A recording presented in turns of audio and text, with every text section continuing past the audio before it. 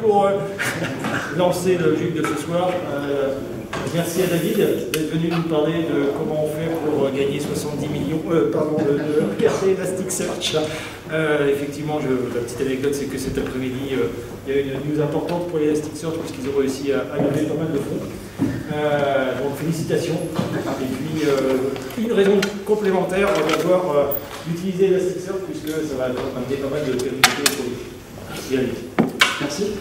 Vous m'entendez bien quoi des places devant. Pas assez, vous avez qu'à venir devant. Voilà. Euh, ben, merci de m'accueillir ici. J'étais, c'était quoi, il y a deux semaines J'étais ici euh, déjà au travail de Trois semaines, trois semaines. Trois semaines, temps passe vite. Il faisait beau aussi, c'est super. Euh, et donc j'ai eu le plaisir de faire le workshop euh, Elasticsearch là, pendant deux heures. C'est la première fois que je fais un workshop comme ça, 70 personnes, deux heures, super intense. D'habitude, il nous faut au moins 3 heures pour le faire à 30 personnes. Et là, on a réussi à le faire super bien. Enfin, plus de monde qu'à Devox. Ouais, c'est, en, oui, en plus, plus de monde qu'à la, session Devox. C'est, c'est vraiment super bien. Donc, très content de revenir. Donc, je vais vous parler d'Elasticsearch pendant une heure et demie, chose comme ça. Euh, qui connaît déjà Elasticsearch, mis à part le nom Qui a déjà joué avec Elasticsearch? Ah, ça fait de plus en plus, en fait. Est-ce que les autres, euh, vous avez déjà fait du moteur de recherche, euh, genre du Solar, du Sphinx, ce genre de choses qui connaissent déjà ça Solar, Sphinx Très bien. Euh, je m'appelle euh, David Pilato, donc, euh, et j'ai travaillé, et je travaille chez Elasticsearch depuis plus d'un an et demi, autrement dit, tout ce que je vous dis, c'est de la connerie. Vous n'y croyez pas. Essayez vous-même, ce sera mieux. Euh, dans mon expérience, surtout pendant 8 ans, j'ai travaillé pour la douane française et pendant mon activité en douane, j'ai mis en place le NoSQL et Elasticsearch en particulier, donc je vous parlerai tout à l'heure un petit peu des use cases que j'ai couverts avec ça. Euh, mes passions dans la vie, ma famille, mon travail comme vous, j'ai un tard à des conférences le soir, donc euh, je suis passionné. Et puis, de temps en temps, je mixe. À DevOps, c'était pas un grand succès d'ailleurs. Très peu de monde est venu voir.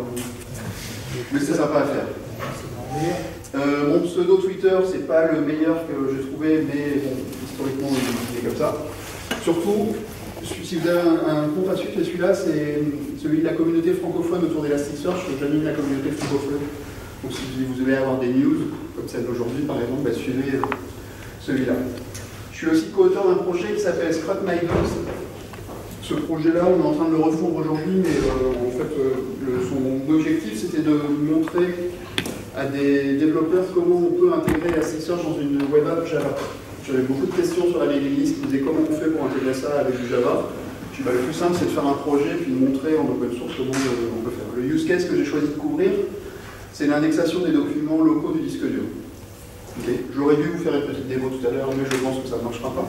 J'ai pas de raison, mais c'est pas grave. Vous pourrez aller voir vous-même. La démo, normalement, fonctionne à peu près bien quand CloudBees met un peu mon serveur. Nicolas, tu m'entends euh, Le taux que je donne, c'est un taux que je donne avant d'avoir rejoint Elasticsearch. Avant, j'étais neutre. Aujourd'hui, je ne le suis plus et maintenant, il y a une page commerciale. La, la grosse différence par rapport à avant. Donc la page commerciale, c'est ben, comment on se rémunère, mis à part en levant des fonds. Euh, on, on, propose des formations en entreprise ou public. La prochaine formation euh, aura lieu à Paris début juillet, 7-8 juillet, quelque chose comme ça. À peu près 8-9 peut-être, je manque ces eaux-là. Euh, on accompagne les équipes pendant la phase de mise en place de leur projet avec Elasticsearch. On accompagne au sens, euh, on ne vient pas dans l'entreprise intégrer Elasticsearch, pas notre boulot, ça c'est le rôle de nos SS2I partenaires de faire ça. Euh, mais en fait, nous on fait du support en mode remote. Donc vous avez accès à, toute la stack, aux développeurs de toute la stack Elasticsearch. Donc je vais parler tout à l'heure, Elasticsearch, Logstash, Kibana. Euh, et puis avec un nombre de tickets infini pendant le temps de votre projet. Donc ça, ça peut vous aider à prendre des bonnes décisions au début. En fait plutôt que de vous en apercevoir lorsque vous êtes en prod. Et lorsque vous êtes en prod, surtout si c'est critique pour votre business, moi je vous invite à prendre du support de prod. Si c'est des logs de prod et que c'est pas critique pour votre business, bon, à la limite, c'est pas nécessaire. J'espère que mon sales ne regardera pas cette vidéo. Euh, on a sorti un projet il n'y a pas longtemps qui s'appelle Marvel. Marvel, c'est un outil de management et de monitoring des clusters Elasticsearch. On montrera tout à l'heure à quoi ça ressemble. C'est un projet commercial, c'est pas un projet open source. Il utilise toutes les API publiques d'Elasticsearch. Ça veut dire quoi? Ça veut dire que vous pouvez vous-même refaire Marvel si vous voulez. On n'a pas fait une version d'Elasticsearch spéciale, c'est toujours le même Elasticsearch. C'est juste un plugin. Euh, c'est gratuit pour les développeurs. Je vous invite fortement à l'utiliser en tant que développeur. Et après, si vous passez en prod, c'est à partir de 500 dollars par an pour 5 euh, nœuds. Et évidemment, c'est compris dans notre, support. Si vous prenez le support, Marvel est compris avec. Ok. Donc là, j'allais vous inviter à faire du bruit euh, sur Twitter, si vous avez euh, des autres qui passent. Et normalement, je dois vous faire une démo. Mais bon, je pense que la démo, ça sera un peu mort, donc je vous ferai peut-être plutôt une capture d'écran après que je tweeterai euh, sur le compte du Braille Jug. Comme ça, vous verrez si vous avez fait plus de bruit que les autres jugs où je suis allé récemment. C'est un peu le challenge. Et en plus, moi, je suis payé au tweet. Donc plus vous faites de tweet, et plus ça marche. Donc dièse élastique surtout. Quoi qu'aujourd'hui, il risque d'être un peu noyé dans la mèche. Oui, c'est possible. Normalement, on les voit plus évidents. Ok. Quand j'ai découvert le monde de la recherche, pour moi, faire de la recherche, c'était faire du SQL.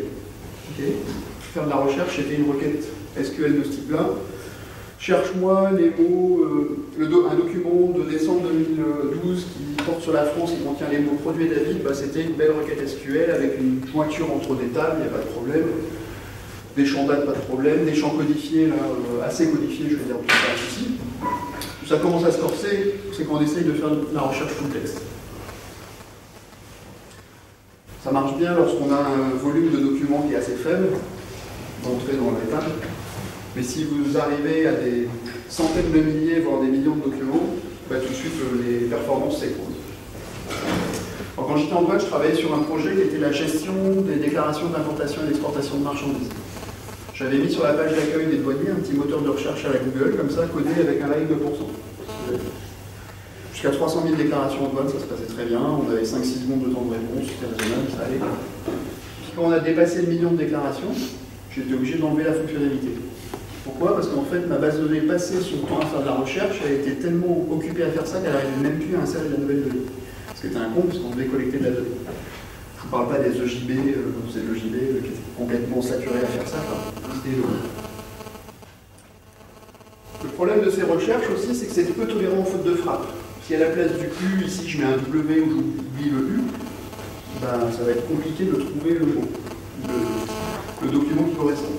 Je peux essayer de mettre un point d'interrogation qui se déplace et essayer toutes les combinaisons du point d'interrogation, mais alors là, pour les perfs, c'est encore pire. Du coup, en général, quand on a des recherches, euh, je vais dire très structurées comme ça par du SQL, on, fait de la recherche et on se limite à des champs qui sont très figés et codifiés. C'est-à-dire que la recherche à la Google, finalement, elle est Internet. Et généralement, les développeurs que nous sommes, dans les systèmes d'information, on fabrique ce type d'écran. J'ai mis une capture d'écran très moche pour montrer que j'aime pas. En réalité, moi-même, hein, j'ai toujours fabriqué des, moteurs de recherche pour mes utilisateurs qui ressemblaient à ça. Alors à chaque fois que je rencontre des développeurs, je milite pour qu'on transforme ça par autre chose. Le problème de ce type d'écran, c'est que l'utilisateur doit savoir à l'avance dans quelle case l'informaticien a rangé la donnée. Est-ce que c'est là? Est-ce que c'est là? Est-ce que c'est là? Il faut qu'il sache. C'est pas très utile. Puis avec ça, fouiller dans les données, c'est quelque chose qui est complètement interdit. Je ne sais pas exactement ce que je cherche, mais j'aimerais bien comprendre mes données, essayer de naviguer dans mes données. Là, on va être obligé de faire vraiment de la recherche précise et structurée, et puis faire une sorte de comptage à la fin. Donc l'idée, c'est de remplacer tout ça par un moteur de recherche. Alors, qu'est-ce qu'un moteur de recherche? Ça, c'est le slide le plus important de la session, ça va être celui-là. J'attire votre attention, un moteur de recherche, c'est composé de deux éléments. La première chose, c'est un moteur d'indexation de documents. Un moteur d'indexation de documents fabrique des index. Un index, c'est ce que vous avez à la fin d'un bouquin. Là, j'avais sous la main le catalogue Castorama, hein, c'est ce que j'avais. Qu'importe. Et à la fin de votre bouquin, vous avez un index. Dans cet index, vous trouvez des mots et des identifiants d'objets dans lesquels on a trouvé ces mots. Ce sont des identifiants de pages, j'ai donc indexé des pages. Ok voyez, un moteur d'indexation fabriquait des index exactement comme ça. Et le moteur de, recherche, il est composé d'un deuxième élément, qui est la fonctionnalité recherche elle-même. Ce qu'il faut vraiment avoir en tête, c'est qu'on ne va chercher que dans les index. On ne va plus jamais chercher dans les documents sources. Vraiment le truc à avoir en tête tout le temps. Vous verrez tout à l'heure, ça a de l'importance. Typiquement, je cherche le mot fenêtre. Je ne vais pas parcourir page par page, essayer de voir si je trouve le mot fenêtre. Je vais dans l'index, je vois le mot fenêtre, j'ouvre les six objets, peut-être plus, sept objets qui correspondent au mot que je cherche. Donc là, c'est pareil. Donc la façon dont vous construisez votre index va avoir beaucoup d'importance. parmi les moteurs de recherche qui existent, donc Elasticsearch est sorti il y a quelques années maintenant. Euh, Elasticsearch, il faut le voir comme un moteur. Euh, c'est à vous d'adapter à vos besoins. Ne pensez pas que vous installez Elasticsearch, vous le démarrez et ça y est, il a collecté toutes les données de l'entreprise. On ne sait même pas ce que c'est. Et puis il est capable de vous offrir un moteur de recherche graphique au-dessus de tout ça et visualiser vos données d'entreprise. Ça n'est pas ça. On n'indexe pas euh, comme ça. C'est à vous d'utiliser la puissance du moteur et à vous de l'alimenter ce moteur. On est dans le monde NoSQL orienté document. Je pense que c'est un gros mot de personne ici, NoSQL orienté document. Alors, Elasticsearch est basé sur une bibliothèque qui s'appelle Apache Lucene, qui est une des bibliothèques euh, de, recherche sans doute les plus performantes qui puissent exister au monde, dans le monde de l'open source. Et même si on compare avec le monde du closed source, c'est sans doute une des bibliothèques les plus puissantes qui puissent exister. Elle a un inconvénient, c'est qu'elle est développée en Java. Ouh. Je devrais pas dire ça à un Java user group. Hein. Euh, c'est pas un inconvénient technologique, Elasticsearch est développé en Java, donc ça pose pas de problème. C'est juste que lorsqu'on veut utiliser la puissance de l'UCN à partir d'autres technos, bah, ça devient un petit peu compliqué. Vous voulez faire du .NET, du PHP, du Perl, du Python, ça va être difficile d'intégrer l'UCN. Donc ce que va faire Elasticsearch, c'est qu'il va exposer à l'aide d'une couche HTTP REST JSON l'ensemble des services offerts par l'UCL et puis bien d'autres services encore. Une des autres difficultés de l'UCN, c'est qu'il est tout à fait capable de tirer pleinement parti de la puissance matérielle que vous mettez à sa disposition. Donc vous lui mettez des processeurs, vous lui mettez de la RAM, vous lui mettez des disques, tout ça, il va, s'en servir. Mais au bout d'un moment, un index Lucene va atteindre des limites. Ce que va proposer Elasticsearch, c'est de faire une distribution horizontale en fait, de vos index et d'avoir une scalabilité quasiment infinie. Euh, tout ça, c'est sous licence Apache 2, comme les autres projets dont je vais parler, sauf Marvel, mais sinon tous les autres projets dont je vais parler sont sous licence Apache 2. Donc vous l'utilisez comme vous voulez. Alors Elasticsearch, c'est simple. Enfin, Dieu Chez Bannon, quand il avait fait Devox à Anvers, il avait dit Je comprends pas les projets. Chez Bannon, c'est l'auteur d'Elasticsearch. Quand il dit Je comprends pas les projets où ils disent démarrer en 5 minutes, enfin en 30 secondes, on doit largement avoir compris ce que ça fait.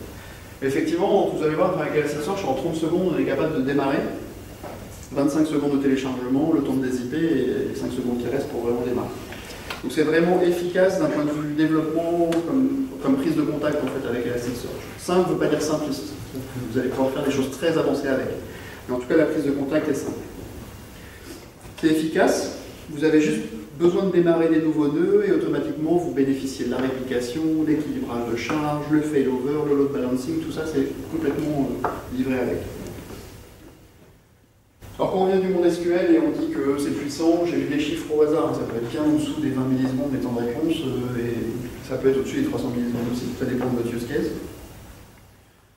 Et quand on vient du monde SQL, on se dit euh, Waouh, je viens de faire une recherche dans un million de documents, il m'a ramené tous mes résultats il m'a ramené mes résultats en 15 millisecondes. Il a dû oublier de me compter des trucs. Il a dû faire un, sous-ensemble ou un machin comme ça. Non, ça marche vraiment. Il ramène vraiment. Il est fait pour ça, le moteur de recherche. En général, euh, moi j'ai l'habitude de dire que si on est vers les 300 millisecondes, voire au-delà, pour un use case standard, c'est qu'on a sans doute mal foutu son index, il y a quelque chose qui va pas.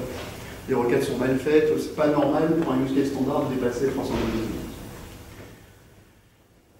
Alors il y a beaucoup de fonctionnalités euh, fournies avec Elasticsearch, on va en parler ce soir, on va parler des fonctionnalités euh, d'analyse, de, texte, euh, de ce qu'on appelle les facettes ou les agrégations, on va parler de la percolation, ce qu'on appelle les rivers aussi, et d'une manière générale, si ce n'est pas suffisant, Elasticsearch vous permet de, rajouter vos, vos, propres plugins en fait, à condition que vous sachiez développer dans un langage qui tourne dans la JVM, ce qui doit être le cas ce soir je pense.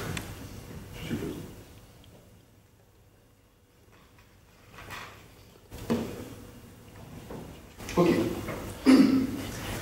Alors la chose qui a été la plus difficile pour moi quand j'ai découvert euh, le monde NoSQL orienté document, que ce soit Elasticsearch ou autre chose, c'était de penser document.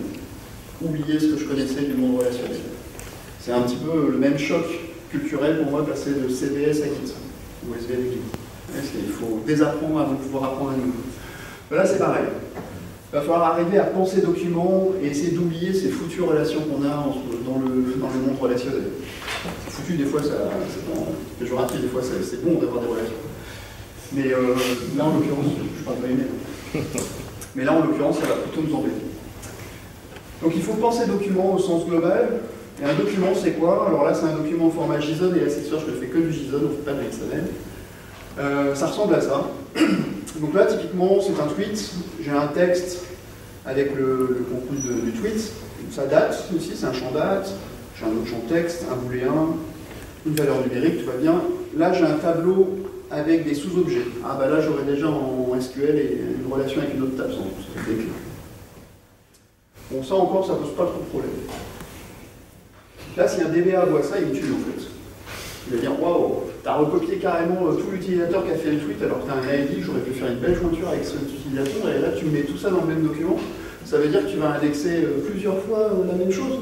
Ouais. Et je m'en fous. Pas de problème. On raisonne document. Et notamment, on indexe ce qu'on veut chercher. Ça paraît idiot, mais si je veux chercher un tweet, j'indexe un tweet, et si je veux chercher le tweet en connaissant le nom de l'utilisateur qui a fait le tweet, eh ben je mets dans le tweet le nom de l'utilisateur qui a fait le tweet. C'est aussi bête que ça. Même si cette information est dupliquée des millions de fois, ça n'est pas important. Alors, tous nos documents sont typés. Donc là, c'est un document de type tweet, par exemple. Chez nous, la, notion de type fait porter la notion de mapping, ce qui veut dire qu'on est capable de dire que ce champ-là, c'est un champ texte, il est par exemple en anglais, en français, en je ne sais pas quelle langue, donc peut-être qu'on doit se comporter d'une façon différente, que sur une valeur numérique, bah, je peux peut-être faire des calculs, je peux peut-être pas faire sur du texte, etc. Donc ça, ça c'est la notion de mapping. Et on stocke nos documents dans des index. Si vous voulez faire une analogie avec le monde relationnel, voyez l'index comme un schéma de base, le type comme étant une table, et puis un document, c'est montré dans la table.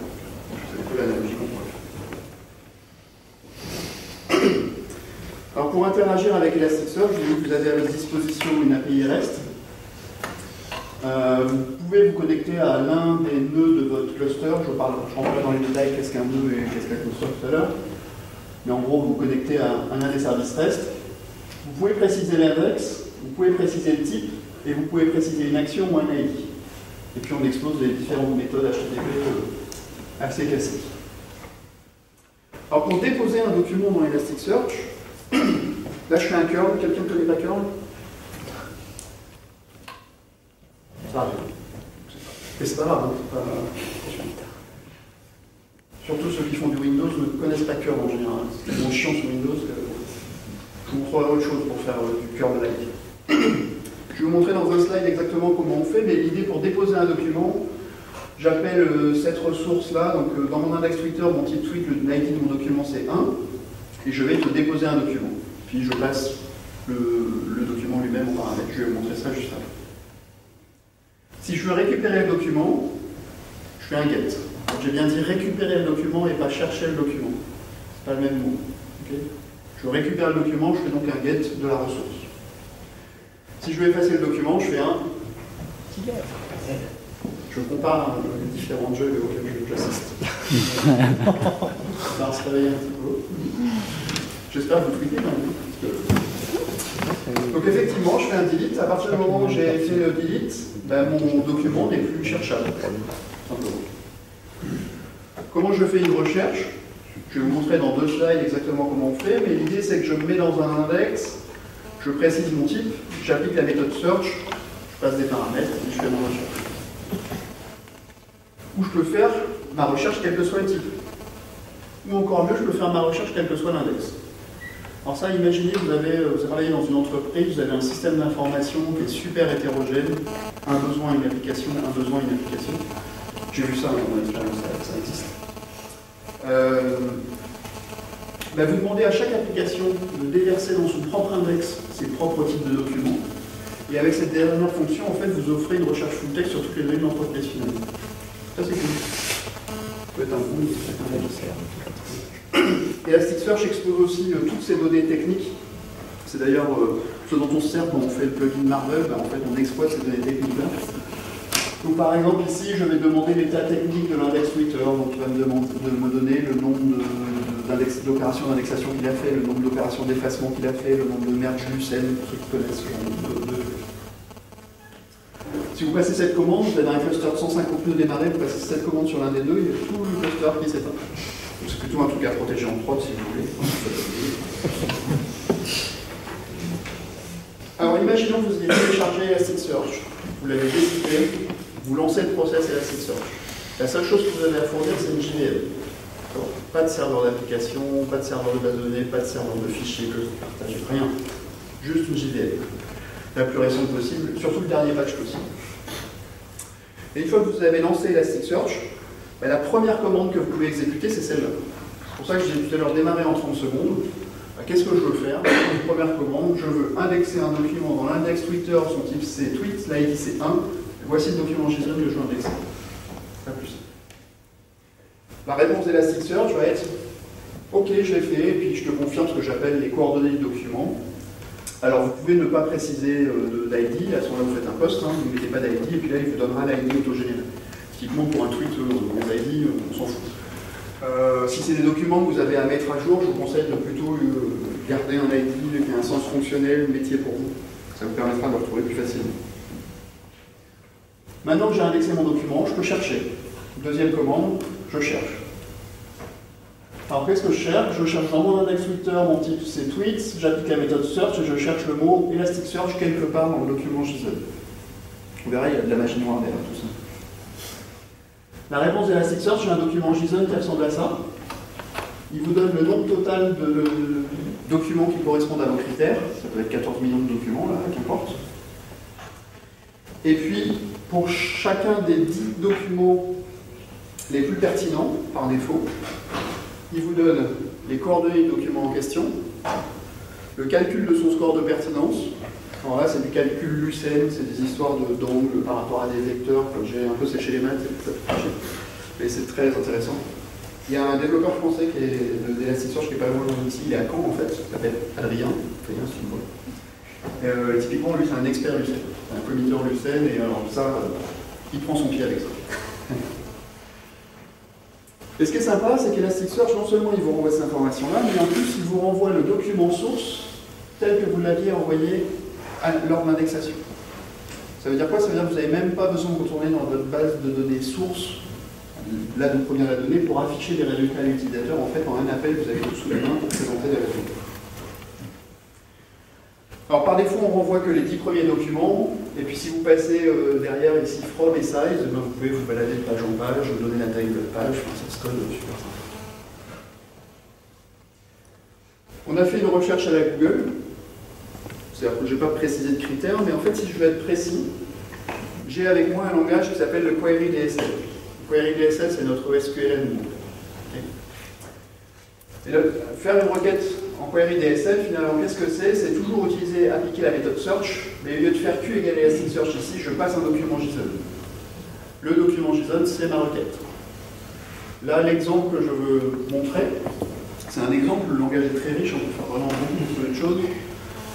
C'est je veux faire une requête booléenne qui satisfait les critères suivants. Je veux obligatoirement que dans le champ user, j'ai la valeur qui brille. Je ne veux pas que l'âge soit compris entre 10 et 20. Et ce serait bien, si dans le champ tag j'avais wow, ou si dans le champ tag j'avais Elasticsearch is cool, cool is Elasticsearch, un des mots, tous les mots dans des ordres, qu'importe.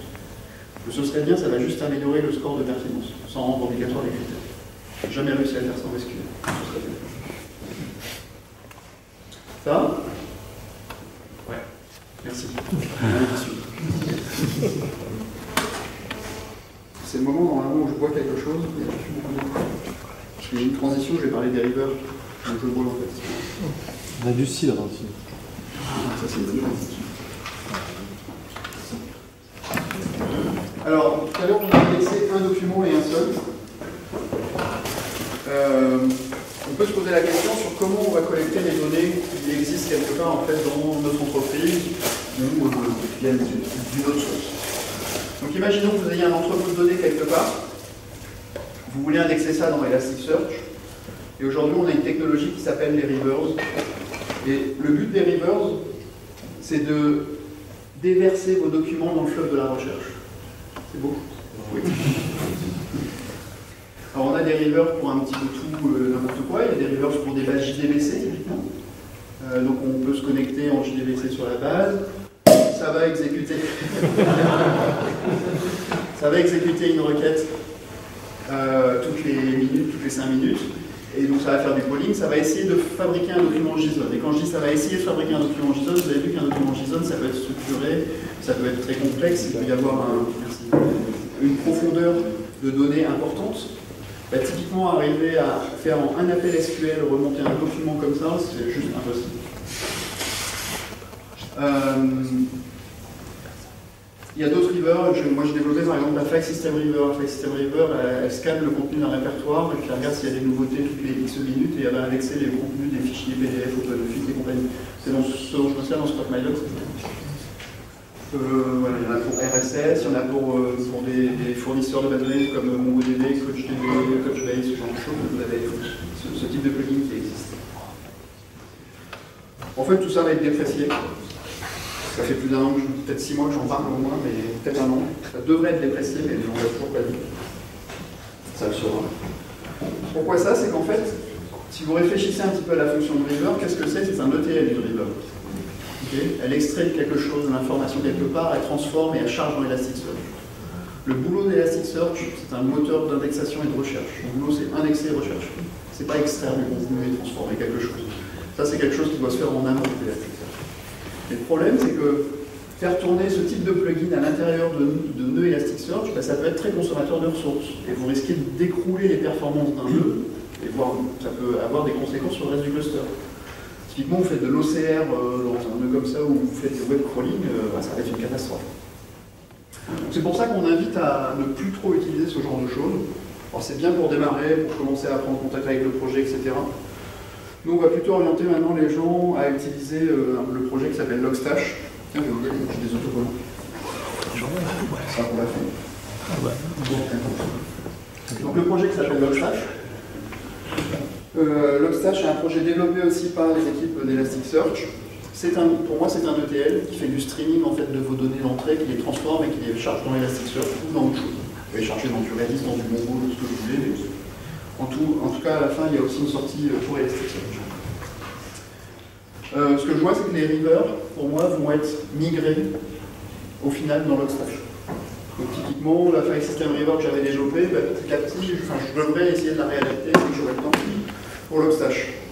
Bon, il y a un petit souci, c'est que c'est fait en menu. Et euh, pour l'instant, j'ai un peu de mal. euh, un des problèmes des rivers aussi euh, qu'on va voir, c'est que vous avez, je vous ai dit pour la, pour la, la river JDBC qu'elle faisait finalement du polling toutes les minutes, toutes les 5 minutes. Bon, on est loin du temps réel avec ça. Euh, moi, une approche que je préfère, c'est lorsqu'on a des données à pousser qui viennent de notre, d'une application métier, par exemple, et qu'on a la maîtrise de l'application métier. Au même moment où vous poussez dans la base de données SQL, tant que vous avez le bid en mémoire, que ça vous coûte pas cher, sérialisez-le en JSON avec le Jackson et balancez-le dans Elasticsearch. Ça va vous coûter deux lignes de code et vous êtes débarrassé. Si vous voulez pas mettre de l'adhérence, mettez un Redis, un RabbitMQ entre les deux, un ActiveMQ, qu'importe. Et puis faites-le consommer après par le stage, par exemple, pourquoi pas. Mais en tout cas, à partir du moment où vous avez le clé en mémoire, pour moi, c'est allez-y, déversez Je fais un la semaine prochaine à DevOps UK, justement, où je vais parler de ce sujet. Un mot.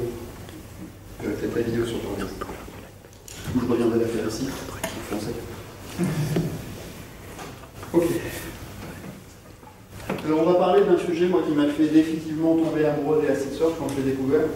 Ce qu'on appelait à l'époque les facettes, qu'on appelle maintenant les agrégations. Euh, ce que ça veut dire, c'est ça vous permet de regarder vos données sous différents angles, en fait, cette technologie, d'analyser vos, documents. Et le tout en temps quasi réel. Alors pourquoi on dit temps quasi réel? Parce que Elasticsearch est un Near Real-Time Search Engine. On n'est pas en temps réel.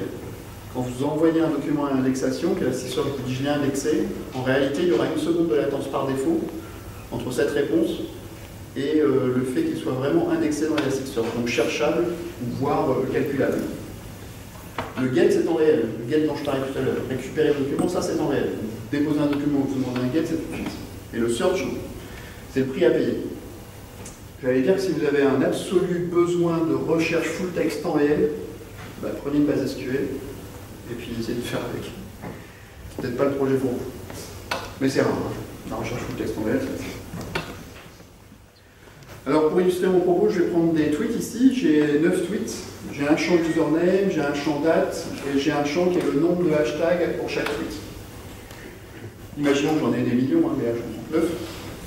Je vais essayer de donner du sens à ces données et essayer de comprendre euh, comment est fait mon dataset. Ben, je peux utiliser une première agrégation qui s'appelle la termes agrégation. La termes agrégation, elle va faire quoi Un top 10 des valeurs que j'ai dans mon dataset. Une sorte de groupe by, count, ordonné par les valeurs les plus fortes. Donc en gros, elle doit donner euh, ces valeurs-là. Comment je fais quand je fais l'Elasticsearch ben, Dans mon query DSL, en même temps que je fais ma requête de tout à l'heure, je lui dis calcule-moi une agrégation. Ça, c'est le petit nom que je lui ai donné, ça n'a pas d'importance, qui est en, en C'est une agrégation de type terms et elle porte sur le champ username. Dans la réponse d'Elasticsearch, en même temps que les 10 premiers documents qui correspondent à vos critères, il va vous donner sur l'ensemble de, tous les résultats des 10 millions de documents qu'il a trouvés qui correspondent à vos critères, cette répartition.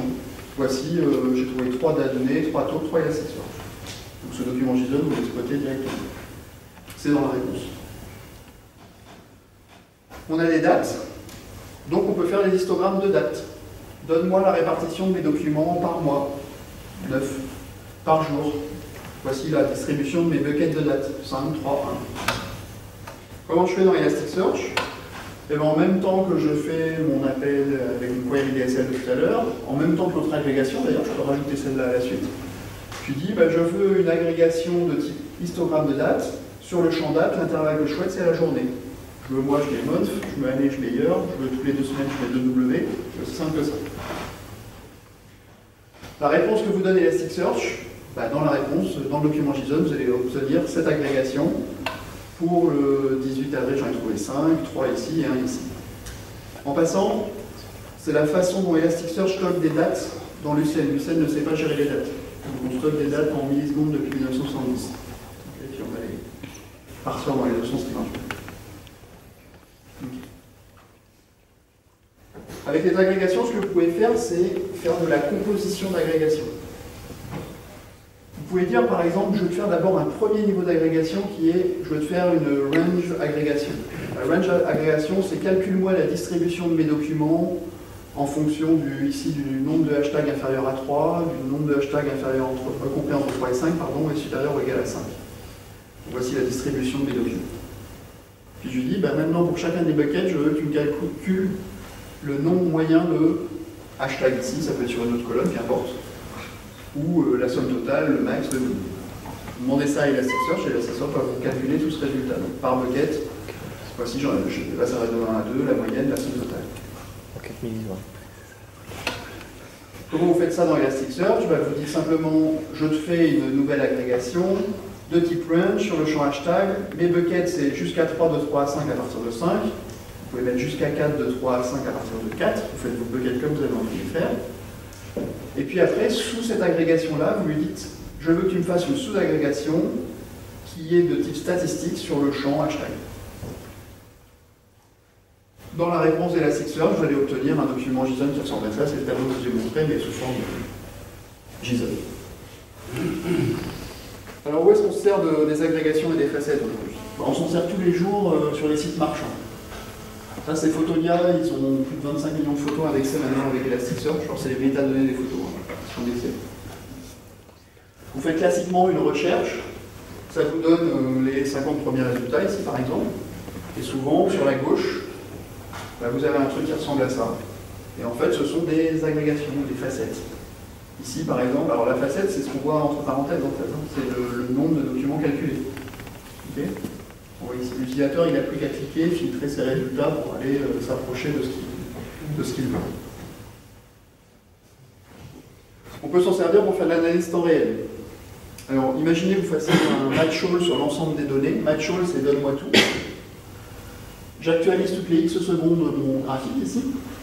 Et en même temps, et j'indexe les, nouvelles données. Et en même temps que mes nouvelles données vont arriver, bah, je vais voir bouger mes histogrammes, mes, camemberts et ce genre de choses. À une seconde de latence près, Donc là, c'est sans doute un index histogramme et un terme d'agrégation. Dans Elasticsearch, vous pouvez aussi gérer des coordonnées géographiques, donc latitude, longitude. Ça veut dire que vous pouvez faire des recherches aussi avec votre query DSL en disant trouve-moi tous les documents autour de ce point-là dans un rayon de 50 km. Ça, c'est faisable. Mais vous pouvez aussi faire des facettes cartographiques du style donne-moi autour de ce point-là le nombre de documents que j'ai dans un rayon de 5 km, de 10 km, de 30 km. Vous pouvez faire ça. Avec un plugin commercial, c'est développé par un Français qui s'appelle Sébastien Bruyé, qui est à Nice. Euh, il a fait le projet qui s'appelle MapTimide. C'est un plugin qui tourne dans Elasticsearch et qui fait ce qu'on appelle du geoclustering côté backend. Qu'est-ce que c'est bah, Imaginez que vous voulez afficher ici un million de tweets. Euh, pour l'afficher aujourd'hui sur une map, récupérer le million de tweets par le réseau, ça va vous coûter un petit peu de temps. Un million de tweets en JSON dans le browser, à mon avis, la, mémoire cache. Si c'est un iPhone, c'est encore pire. Donc c'est juste impossible à faire. C'est pas satisfaisant. Donc lui, ce qu'il fait, c'est que côté backend, il calcule en fait le centre du camembert et le nombre d'éléments qui est dans le camembert. Il fait cette distribution en fonction des masses. Du coup, il ramène très peu d'éléments. Il doit peut-être ramener pas, une centaine de lignes, même pas 30 lignes. Donc ça va beaucoup plus vite à afficher. Si j'avais eu du réseau, ce soir, je vous aurais fait une démo de ça. Super, il y a du réseau. Ah, il y a du réseau Il y a un routeur qui vient d'être monté en live. Super. Donc je vais vous montrer ça dans les détails. Super. J'en parle pas plus. Bon, vous rappelez mon formulaire que je déteste euh, Donc à chaque fois, je milite pour que les gens arrêtent de produire ça. C'est pas la technologie le plus dur, c'est euh, souvent c'est les utilisateurs le plus difficile, les plus difficiles à convaincre. C'est les plus réfractaires à ce genre de changement-là. Alors ce que je propose de faire en fait, c'est de dire bah, ne me dis pas où tu cherches, dis-moi ce que tu cherches, ça ira très bien. Je te donne des résultats de recherche et puis je vais agrémenter avec des facettes euh, qui ont un sens métier pour toi, euh, des couleurs, qu'importe. je vais attirer ton attention sur des choses et tu vas pouvoir cliquer dessus, filtrer tes résultats et naviguer dans tes résultats. Et c'est vrai que souvent les utilisateurs ne sont pas prêts. Moi, je, ma maîtrise d'ouvrage, quand j'étais en douane, typiquement, me disait mais l'heure de question qu'on donne ça aux douaniers, ils ne sauront jamais se servir d'une recherche full texte. Oui, enfin Google, ils s'en servent tous les jours, hein, je ne pas exagérer, ils savent bien trouver des documents sur Google. Il n'y a pas de raison qu'ils ne trouvent pas des documents dans nos, dans nos applications. Alors, quand j'étais en douane, je travaillais sur un projet qui était la gestion des contrôles réalisés par les douaniers dans les entreprises. À l'issue du contrôle, le douanier revenait au bureau de douane, il faisait son rapport dans mon application, et je générais un document JSON. Dans le document JSON, j'avais la date du contrôle, j'avais la conformité du contrôle, rouge pas bien, vert bien, facile mais bien. Euh, le bureau de douane par lequel j'étais passé, euh, la marchandise était passée, pardon, et euh, quelle était l'entreprise concernée par le contrôle.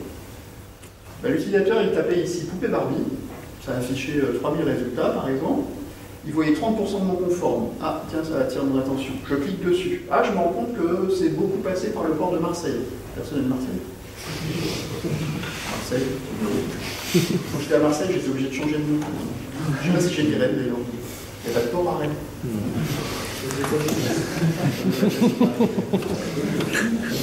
Donc il clique dessus, il affine, il voit que c'est surtout cette entreprise-là qui est concernée. Clac, il clique dessus, puis là du coup il voit les 3-4 dossiers concernés, puis après il va faire son travail d'enquêteur. Et Elasticsearch ne va pas non plus répondre et guérir de tout, hein. il y a quand même du boulot à faire derrière l'enquête. Mais en tout cas, on l'a aidé à naviguer dans les données. Et ce qui était sympa, c'est que, je vous rappelle, je vous ai parlé tout à l'heure des 15-16 millisecondes de temps de réponse, ce genre de truc. En fait, j'avais indexé 500 000 documents dans ma base. Et, ça allait, et, le temps de réponse pour la recherche et le calcul des facettes, c'était de cet ordre-là, entre 15 et 7 millisecondes de temps de réponse. Ça voulait dire quoi? Ça voulait dire qu'en fait, je lui ai fourni un search as you type. Ça allait tellement vite que dès qu'il tapait un caractère, j'étais capable de lui rebalancer la requête et de recalculer tout l'ensemble automatiquement et de réajuster. Donc c'était vraiment, pour faire de la navigation dans les données, c'était vraiment euh, super pratique. Donc voilà. Je milite. Alors, est-ce que vous avez fait du bruit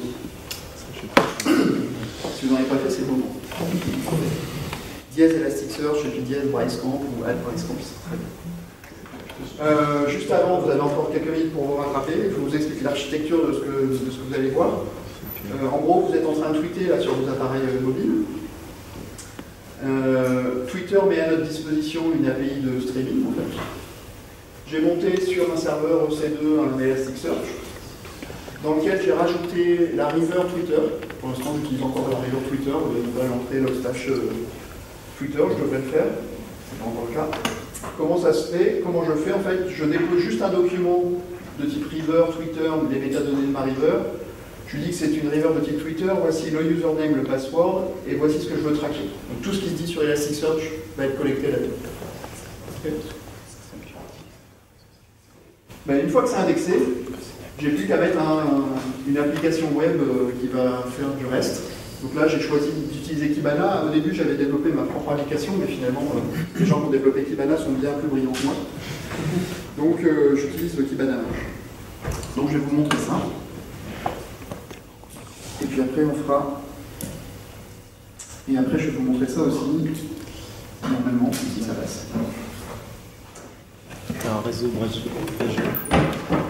Alors, faut que je me quoi en... Pas trop fort, ça va faire tomber le réseau.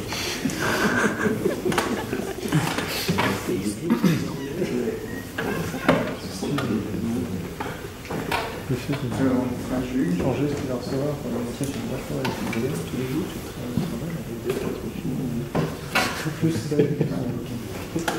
On peut dire quand même un bravo euh, Ouais. à Alexis qui a monté un routeur en live. euh, Alexandre. Alexandre, pardon, qui a monté en live un routeur avec deux cartes Wi-Fi euh, exprès pour la.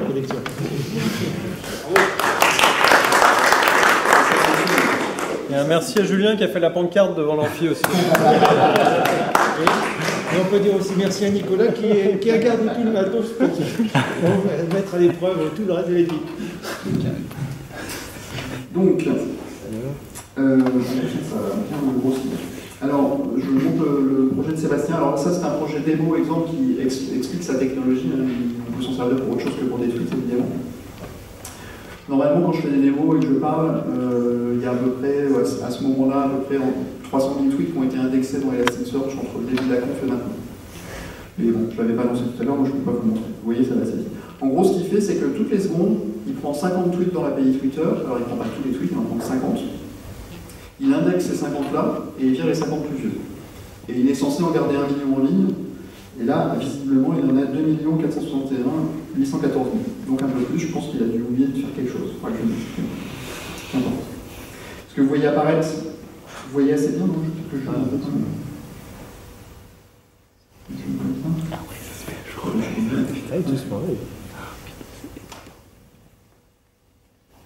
Voilà, ce que vous devez voir apparaître, c'est à l'intérieur des camemberts, toutes les secondes, vous voyez les valeurs qui changent. En fait, donc il a recalculé le nombre de tweets qu'il y avait dans cette position géographique-là. Voilà, tout ça, c'est côté back. Donc euh, ce qui est bien, c'est que je peux zoomer à l'intérieur, évidemment. Plus je me déplace et en fonction du niveau de zoom, bah, il va recalculer les tailles des camemberts. Alors vous avez vu que c'est rapide. hein. Ça va assez vite. Si je me mets vers Rennes, vous pouvez voir ce qui se passe. On est vers là, non Enfin, Aïe. On est... Ah, mince. le 5, là, ouais, c'est ça. Alors, tiens, il y en a un par ici. Ah, c'est bien ça. c'est bien ça. Speed. Ah, Ah, non, Des fois, j'ai peur quand je vois en démo des trucs. Super trash. Recule un peu. Bon, c'est sympa. Bon, on va voir tiens, si on parle du brèche quelque part. Je vais me remettre le plus haut. Donc en fait, ça c'est de, j'allais dire, de l'analyse structurée, mais c'est couplé avec de la recherche full text dans la partie keyword. Ici, si je tape euh, braille euh, je pense que c'est mis en plus. Ah non, pas de réseau. Où il est Voilà, c'est bon. Voilà. Donc ça fonctionne, bravo. On en a chopé un. Là, évidemment, pour euh, être rentré dans le Web Million Tweet Map, il faut être géolocalisé. Si vous n'êtes pas géolocalisé au niveau des tweets, on ne vous verra pas. Ok. Si je cherche aujourd'hui, il y a une info sur Elasticsearch, donc je ne sais pas à l'avance ce que ça va donner. D'habitude, je ne trouve rien sur Elasticsearch, moi je trouve juste mon tweet. Et en gros, ben là, on en a réussi à en collecter quelques-uns. Sachant qu'on en prend que 50 par seconde. Et il faut qu'il soit géolocalisé. Donc euh, c'est pas anormal qu'on n'en ait pas tant que ça. Mais voilà. Donc on a réglé 70 millions de dollars aujourd'hui. Pour ceux qui n'étaient pas au courant. Voilà, pareil. On va aller voir ce qui se passe en France, tiens, à propos des. Ah. Alors normalement, j'avais fait un tweet avant de partir euh, ce midi, mais je pense que comme il, il a dû être effacé depuis, qu'il n'en garde que 50, mais on peut en voir un là. Voilà, pas de réseau, on est encore. Et là, c'est peut-être moi en fait. Ah oui, là t'es moi. Ok, je suis arrivé tout à l'heure. Donc on oh, c'est sympa, hein, ça marche bien. hein. Je cherche euh, un truc où on parle un peu plus. Obama, peut-être qu'on en parle par un Ah si, quand même. Oh, c'est passionnant. Ah non, c'est parce que, ouais, c'était mon temps, euh, j'avais dû taper le haut le temps que. Ça. Et en gros, allez analyser vos données comme ça, comme ça.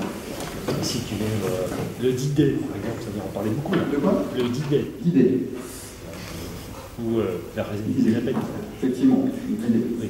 Et on peut voir un truc tout seul là. Ok, alors c'est ici. À l'intérieur, ici, on voit le 10D apparaître.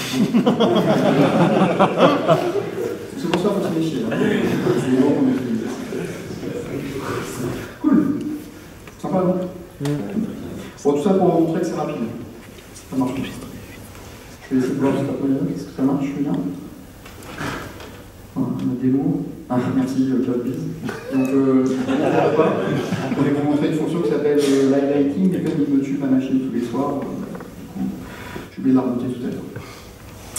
Ok. Euh, ce que je veux voir, c'est la démo d'aujourd'hui du jeu. Donc avec mon Kibana, je vais ouvrir un dashboard Kibana. Je vais vous montrer tout à l'heure exactement comment on fait un, vous faites un, da- un dashboard dans Kibana, je vous montre ça juste après. Mais là, l'idée, c'est que j'ai euh, essayé de collecter euh, différentes informations. Donc, dans mes requêtes, je collecte Bright Jug, Mars Jug, Long Jug, Jug, par exemple, sur les deux dernières années. Donc, on voit que là, j'ai sans doute, euh, j'étais à Lyon. Là, je sais là, là aussi, il y avait du Lyon. C'était un peu Tanguy qui parlait, sans doute. Là, c'était le Petit Jug. Là, je sais pas, Marseille, je sais pas où il est. Et là, c'était aussi Jug. Donc, ils sont présents partout. Euh, donc là pour l'instant on règle 21 trucs comptés avec dièse et Elasticsearch. Donc, si jamais vous en faites, je rafraîchis, bon. les RT fonctionnent aussi. Si vous faites des RT, ça va se raconter. Quelqu'un en faire, on les verra. Donc en fait je peux analyser, je peux aller voir, tiens sur le braille jeu, je filtre, je vais voir quand ça s'est passé. Effectivement c'était plutôt ces derniers jours. hein. C'était plutôt à ce moment-là. Bon il y en a eu vers midi, bah, ça devait être les miens sans doute. Et puis ici, ce soir, vous avez fait quelques tweets. Donc si je regarde un petit peu dessous euh, la liste des tweets en question, ben voilà, Laurent, Laurent, Julien Coste, Wendell, etc. Les voir, ils sont localisés en France, ça me paraît assez logique. Si je regarde euh, ce qui s'est passé sur Elasticsearch complètement sans tenir compte des jugs, on voit que je suis. Alors des fois j'ai des petites périodes d'absence, hein, mon, cluster c'est un seul nœud, donc euh, ça peut m'arriver que ces deux me l'arrêtent de temps en temps. Euh, si je peux aller voir ce qui s'est passé ces dernières heures, dans les 24 dernières heures, par exemple, on voit que j'avais pas beaucoup de trafic. Puis alors là, il s'est passé quelque chose à cette heure-là. Ça a commencé. Il y a un machin qui a dû se passer par là. Il y a dû avoir un pic d'information. Et si on va regarder ce que c'est, bah, c'est effectivement l'annonce des 70 millions de dollars qui, voilà, viennent d'être annoncés. Donc là, vous analysez votre trafic, vous pouvez voir bah, tiens, qui a tweeté. Euh, Tiens, il y en a 49 en Californie, on peut les voir. Ah, oui, mon filtre n'a pas bien fonctionné, c'est un mauvais exemple. Je. Donc je vais l'éviter. Je je serre en minuscule, ça va autre chose. Même pas.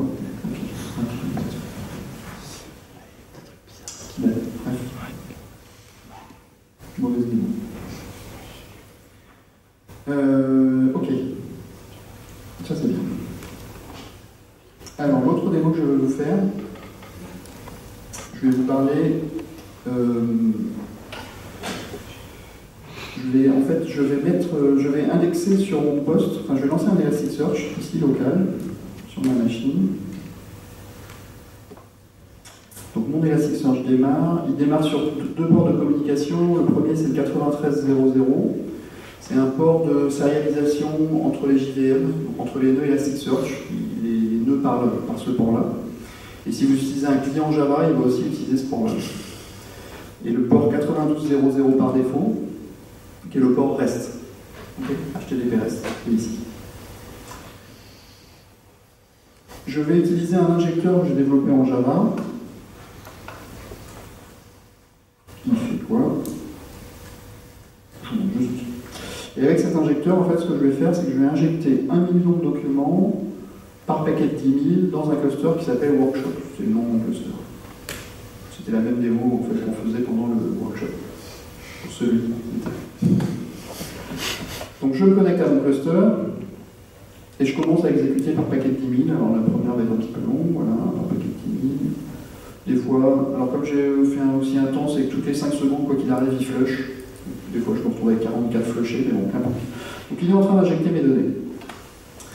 Ce que je vais voir, c'est que je vais ouvrir le plugin donc, Sense, euh, Marvel, pardon.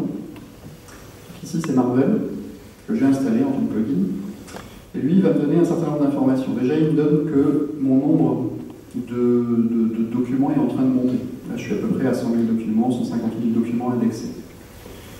J'ai un index qui n'existait pas tout à l'heure, qui s'appelle personne, et on voit qu'il est en train de progresser en ce moment.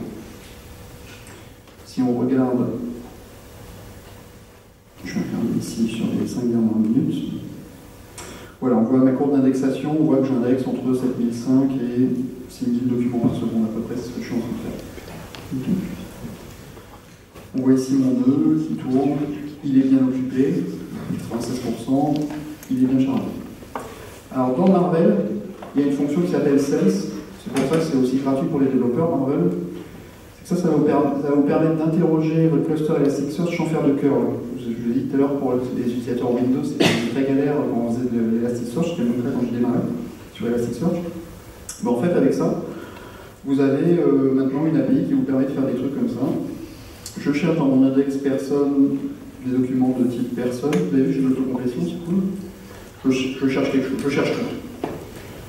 Je mets rien, pas de. Je cherche tout, en fait, il a trouvé 587 386 documents. Si je réexécute, 630 000, 636 000, donc vous voyez, les documents continuent d'arriver. À quoi ressemblent mes documents? Ce sont des documents générés aléatoirement qui ressemblent à ça. J'ai le nom de la personne, sa date de naissance, son sexe, son nom d'enfant, des données marketing, combien de fois il a cliqué sur le bouton électronique dans son application iPhone, données euh, comme ça de centre d'intérêt, j'allais dire. Et puis son adresse qui est structurée comme ça, j'ai le pays, j'ai la ville, et puis j'ai des coordonnées géographiques. Et donc j'en génère, j'en génère. Là, je peux faire des recherches là-dessus. Vous rappelez de mon query SL de l'heure, je peux dire, tac, je vais faire une query. Donc utilisez Marvel, hein, comme c'est gratuit, pour le développement, allez-y. Je veux faire un match. J'ai un certain type de query, par exemple dans le champ gender, je cherche tous les hommes. J'en ai 490 000. hein. Ah, j'ai sans doute fini d'indexer, ça bouge plus. Ah, mais là, ça va faire un post. Voilà. Hop, oui, j'ai mon million de documents, ça y est. Ok, est-ce que là-dedans, euh, je peux chercher autre chose? Est-ce que je peux dire, euh, ouais, je sais pas, euh, je faire un range par exemple. Attends, je une. Petit range. Le champ, ça va être children, par exemple. Et je veux savoir ceux qui ont entre 1 pardon, et 3 enfants. Ok, j'en ai 600 105. Ça m'a pris 37 000 secondes pour calculer ça. Cool. Tant que j'y suis, on va faire des agrégations. Allez, soyons. Vous vous rappelez des agrégations de tout à l'heure, hein Comment ton get, il pouvait euh, poster un contenu là? Il n'a pas posté. Il fait un get. Poster, c'est changer l'état du serveur. Non, mais c'est un super débat ça. En fait, dans la, dans la RFC euh, HTTP, tu as le droit de faire un get avec du body. D'accord. Et heureusement que tu as le droit de faire ça, parce que si tu veux vraiment être full rest, quand tu fais un, un search, tu ne modifies pas l'état distant de ton Ouais. serveur. Donc tu dois faire un get pour faire un search. Ça a toujours marché ça? Ouais. Alors il y a certaines bibliothèques clientes qui refusent ça. D'accord. Donc ça peut être un problème. Donc nous on supporte aussi le post. Mais euh, pour, euh, justement c'est problématique là. Mais la bonne pratique c'est de faire des get. Euh, donc je vais faire une agrégation que je, je vais appeler par exemple euh, bah, par sexe. Allez, est dans par date de naissance. Je vais l'appeler. C'est une agrégation de type histogramme de date. Euh, le champ sur lequel je vais travailler, c'est sur, le champ date of birth. Et l'intervalle que je souhaite, c'est par an. J'exécute. Alors, la première exécution m'a pris un petit peu de temps, Elle a mis 643 millisecondes. Si je la réexécute maintenant, ça a un peu chauffé le cache, ça va être plus rapide. C'est les temps normaux. Euh, donc sur mon million de documents je, euh, sur tout mon million de documents, voici la répartition par année de naissance. Donc en 1940, j'en ai 14 412, en 1941, 14 153, etc., etc. Je vous ai parlé tout à l'heure, on était capable de faire des sous-agrégations. Bah, ici, en fait, je peux lui demander une sous-agrégation qui est de type, euh, je vais- je vais l'appeler carré gender, le petit nom je donne. Le type, ça va être une termes agrégation sur le champ gender. Donc ce que je lui dis, c'est que pour chaque bucket d'année, je veux que tu calcules la répartition homme-femme. J'exécute. 295 millisecondes plus tard, j'ai alors mes 10 premiers hits, comme tout à l'heure. Et donc pour mon année 1940, mes 14 412 personnes réparties en 7 382 femmes, 7 022 hommes. Et puis j'ai dit tout à l'heure, comme j'ai, euh, j'ai une valeur numérique et le nombre d'enfants, bah, je peux rajouter une nouvelle agrégation. Je vais faire euh, children.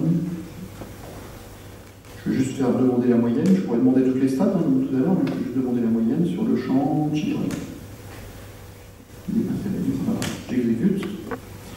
261 millisecondes plus tard, j'ai donc en 1940 14 412 personnes, dont 7 390 femmes qui ont en moyenne 2,00 enfants. Alors, il y a des trucs super sympas maintenant qui existent. hein. Il y a ce qu'on appelle les percentiles. Percentiles. Un petit peu plus long. Celui-là. Je pense que la, suite sera plus rapide, pareil. Il vous donne la distribution. Il vous dit que 99% euh, des femmes ont euh, au, au moins 4 enfants. Jusqu'à 4 enfants, c'est. Oui. Les percentiles, vous pouvez les travailler vous-même. Vous avez tout un tas d'agrégations que vous pouvez faire comme ça à tout niveau. Alors, donc là, on, on exploite nos données, on fait des agrégations. J'ai donc mon million de documents de tout à l'heure, et je voudrais maintenant essayer de le comprendre, ce million. C'est bien beau de faire des recherches comme ça. Donc je vais utiliser ces agrégations à l'aide d'une interface qui s'appelle Kibana. Donc Kibana, c'est un projet développé en AngularJS, ça tourne dans le browser, ça se connecte à Elasticsearch. Je vais partir d'un dashboard vierge. Sur ce dashboard, la première chose que je vais faire, c'est que je vais le configurer. Je vais dire de travailler dans un index qui s'appelle personne. Je peux exécuter une recherche. Hop, j'ai exécuté une recherche. Comme j'affiche rien, je ne rien. Super. Fait pas rien, ça va être toujours. Bon, j'ai rien affiché. Je vais rajouter une ligne. Donc, euh, pensez Twitter Bootstrap, on rajoute des lignes. Je vais l'appeler Analytics, mais je ne suis même pas obligé de donner des noms. Je fais. Je vais en créer une deuxième. Dans mes lignes, je vais pouvoir rajouter des composants graphiques. Donc, je vais commencer par dire donne-moi le nombre de bits qui correspondent à mes critères de recherche. Ok. J'ai bien un million de documents. Vous voyez bien Si je cherche des Joe, j'en ai 1578. Ok. Si je cherche aussi des John, j'ai 1578 Joe, 1511 John. Enfin, des jaunes et des verts. Quand je vais libeller, changer les couleurs. C'est beau pour le marketing, ça. On voit du rêve. Vous vous rappelez tout à l'heure, j'ai fait, je vous ai montré qu'on était capable de faire des histogrammes de date. Donc je peux faire des panels histogrammes qui sont câblés avec des histogrammes, euh, des facettes histogrammes. Je vais faire un histogramme sur le champ qui s'appelle date of birth. Et puis je vais dire, vas-y, fais-le. J'ai un petit peu, je sais. Voici la distribution de mes Joe et mes John par année de naissance. Cool. J'ai le champ sexe. Bah, je peux faire un terms panel qui est câblé avec le terms agrégation, top 10 des valeurs. Top 10 sur homme-femme, ça doit être un top 2. Donc je vais faire gender. Je ne dois pas avoir de valeur autre ou manquante. Je sauvegarde. Ok. Voici, j'ai quand même 25% de femmes qui sont des Joe ou des John. Ça choque personne. Alors, je vais essayer de comprendre ce qui se passe. Je vais rajouter un nouveau composant qui est un tableau en fait, qui est l'extraction brute de toutes mes données. Je mets aucune valeur, je le mets par défaut. Donc ce que me montre ici Elasticsearch, c'est les euh, premiers hits qui correspondent à mes critères de recherche. Ok, je vois des Joe, je vois des Jot. À gauche, vous voyez la liste des champs qui apparaissent. Cette liste, en fait, elle est demandée par Kibana à Elasticsearch. Il demande à Elasticsearch son mapping. Donne-moi la liste des champs dont tu as connaissance pour les documents que je présente. Ça veut dire quoi ça? Ça veut dire que si votre marketing, à un moment, vous dit tiens, j'ai une super bonne idée, ça serait super d'ajouter les comptes sociaux Twitter et Facebook de mes utilisateurs dans mes documents JSON, ben, contrairement à ce qu'on faisait dans le monde SQL classique, où on arrête l'injection, on fait un alter table et puis après on reprend l'injection, là on y va directement. On rajoute les nouveaux champs et les nouveaux champs vont du coup être automatiquement fusionnés avec les schémas existants d'Elasticsearch. On va faire ce qu'on appelle un merge de mapping dans Elasticsearch. Euh, du coup, bah, ces nouveaux champs vont apparaître directement dans Kibana, vous pourrez les exploiter, les rechercher tout de suite. Ça sera disponible. Par défaut, on affiche les documents JSON bruts. Imaginons qu'on peut afficher le nom de la personne, son sexe, sa date de naissance, son nom de l'enfant, son pays, sa ville. Qu'il est intéressé par ça, ça, ça, ça, ça, ça Je sais rien. En même temps, si vous cliquez sur exemple Country, vous voyez euh, des petites euh, facettes qui sont calculées à la volée aussi, qui vous permettent de voir ce qui se passe. Donc voici la liste de mes documents qui correspondent. Si je clique sur un, en fait, je vois tout le contenu de document JSON ici. Je peux filtrer, je peux dire je veux filtrer ou je ne veux pas trouver les gens sous cette par exemple. Je peux voir ça, le document JSON brut, tel qu'on l'avait envoyé à l'indexation, ben, vous voyez, il est là. Donc j'ai dit que j'avais un problème avec les femmes. Non, j'ai pas de problème avec les femmes. Ah Des fois j'entends des coups. Donc ce que je vais faire, je vais essayer de comprendre ce qui se passe. Je vais cliquer sur le camembert ici sur la partie female. En fait, ça va rajouter un filtre à cet endroit-là. Et donc ça va filtrer tous mes résultats. Vous allez voir le, calcul de l'agrégation qui va changer, la liste des résultats qui vont changer, le résultat ici aussi. Donc je clique. boum. Donc voici, j'ai mes Joe, John qui sont euh, des femmes par année de naissance et j'ai la liste des personnes dessous. En fait, je vois que John ou Joe, c'est le nom de famille. Bon, pas de problème, tout va très bien, c'était pas vraiment un souci. Je peux sauvegarder mon dashboard dans Elasticsearch ou sur le fichier, sur le file system, comme vous voulez. Donc je peux le réouvrir pour plus tard. Donc j'avais préparé ici un dashboard qui était, je suis intéressé par les personnes euh, qui ont cliqué plus de 1000 fois sur voiture, plus de 1000 fois sur la bouffe. Donc 147 859, 148 033 de l'autre côté. La répartition homme-femme, la répartition par année de naissance, la position par pays, par ville. Euh, ici, la géolocalisation, j'utilise les coordonnées géographiques euh, comme on a vu tout à l'heure. Alors là, c'est limité euh, à 1000 points. Ça ça, oui, 1000 points. Euh, parce que là, c'est du géoclustering côté front, en fait. Évidemment, je ne peux pas ramener mon million de points comme ça. Pas. Mais un jour, ça, ça existera, euh, nativement. Le nombre moyen d'enfants euh, en totalité, puis pour les voitures et pour la bouffe. Et la liste des personnes dessous. Donc imaginons que je sois intéressé par les femmes, je clique. Plutôt né dans les années 70, je zoome, ok. Plutôt habitant, tiens, en France, on va aller pas très loin, on va aller à Nantes. Ok. Et voici le nombre moyen d'enfants qu'elles ont. J'ai refait mythique, elles sont intéressées en plus par les voitures et la bouffe. Ce que ça veut dire, c'est que vous pouvez donner du sens à n'importe quelle donnée en fait. Là, j'ai pris des données marketing, c'est ce que j'ai voulu injecter et montrer. Mais vous pouvez faire ça euh, sur des données, euh, des logs de prod, euh, sur des déclarations web, enfin, sur vos données en fait, quelles que soient vos données. Poussez-les dans Elasticsearch, indexez-les, et puis après, bah, laissez libre cours à votre imagination. Ce qu'il faut savoir, c'est que Kibana, aujourd'hui, la version 3 de Kibana utilise ce qu'on appelle les facettes, qui est l'ancienne version des agrégations. Donc je ne vous ai pas montré ces fameuses agrégations d'agrégation de multiniveaux. Et on ne peut pas le faire aujourd'hui avec Kibana version 3. Kibana version 4 permettra de le faire, mais ce n'est pas avant la fin de l'année. Ok. J'ai démarré. Donc j'avais démarré ici un Elasticsearch. Mais en fait, je vais en démarrer un deuxième. Ah, pardon. Ce que je vais vous montrer, c'est dans Marvel, ici, ce que ça va faire. Donc ici, j'ai un seul nœud démarré. Ok. Je vais donc ouvrir une nouvelle fenêtre. Je démarre un nouvel Elasticsearch. Il va trouver un autre port de disponible pour euh, communiquer. Là, il a le 9301. Et automatiquement, par défaut, il va faire du broadcast. Il va essayer de trouver un autre euh, nœud euh, avec lequel il peut se rattacher. Comme ils ont le même nom de cluster, voilà, c'est ce qu'il va faire. Il va dire Ah, j'ai détecté un maître, je me connecte à lui. Et puis j'ai démarré. Sur le maître, en fait, on peut voir que ah ben lui, il a trouvé qu'effectivement, il y a un nouveau nœud qui, qui nous a rejoint. Qu'est-ce qu'on voit dans l'interface? Ben, Effectivement, le deuxième nœud euh, existe.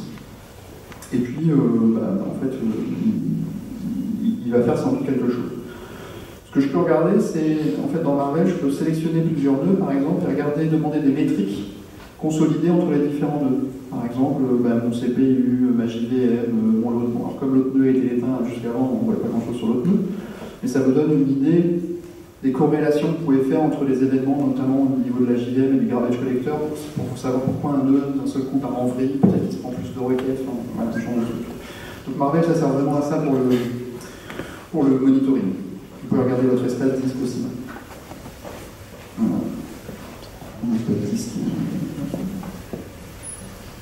Et lecture les écritures. Ok. On vient de sortir la version 1.2 de Marvel qui est sortie hier, je crois. Beaucoup d'annonces en ce moment. Et donc dans la version 1.2, vous avez maintenant ce qu'on appelle le shard allocation. Qu'est-ce que c'est que le shard allocation? Ça vous permet d'avoir cette vue-là. Cette vue-là, elle vous montre quoi? Que l'index qui s'appelle personne, apparemment j'avais un autre index aussi qui existait, l'index qui s'appelle personne, en fait il est découpé en ce qu'on appelle des shards, des partitions, chaque shard. Chaque, cha- chaque shard, chaque petit carré là, c'est une instance de. Et C'est comme ça qu'on fait nous de la distribution du UCL sur, de façon horizontale, c'est qu'en fait on découpe les index en plusieurs parties et on range vos documents bah, dans une ou l'autre des parties. Et ces shards peuvent être allo- alloués sur plusieurs machines. Là il se trouve, je ne sais pas si vous comprenez, c'est que j'ai le shard 0 qui est ici, et en fait j'ai un réplica de ce shard 0 que je trouve sur la deuxième machine. Pourquoi? C'est parce que par défaut, Elasticsearch, quand on crée un index et vous dites rien, il va créer 5 shards et il va demander à ce qu'il y ait une réplication de chaque shard dans l'ensemble du cluster. Si j'ajoute un autre nœud maintenant,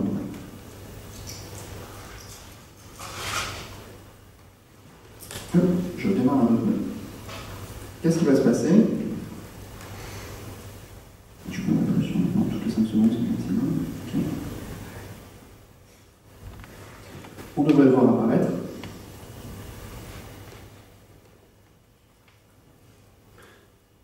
Voilà, c'est ça. On va y apparaître en bas. Tu peux boire un coup. Comme ça, je pourrais peu.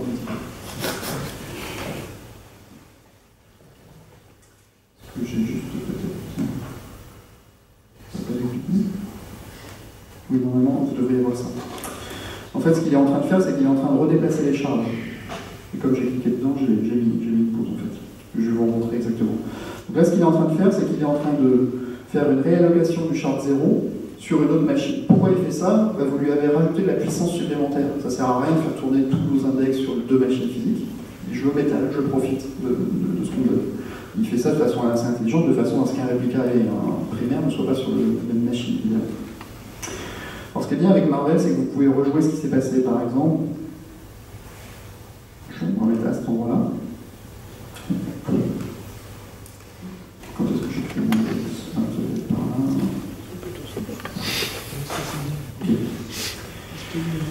Je peux me remettre, imaginons qu'il y a eu un incident à 3h du matin, je veux savoir ce qui s'est passé, ben, je me remets à cet endroit-là et je dis vas-y, rejoins-moi ce qui s'est passé. J'ai créé mon index personne, il y a un nouveau nœud, euh, le nouveau nœud est arrivé, il a fait les réplications, puis ensuite il y a un nouveau nœud qui est arrivé, il a redistribué mes charges.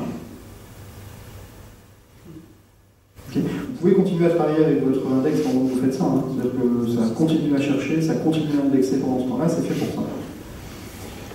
Euh, maintenant, je suis sur euh, plusieurs machines. Si je continue à chercher là-dedans mes données, alors du coup, ça va être un petit peu plus coûteux.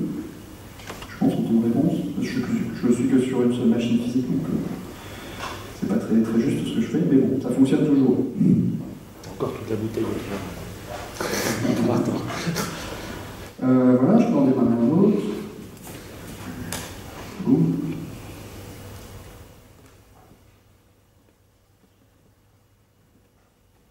Ah, Du coup,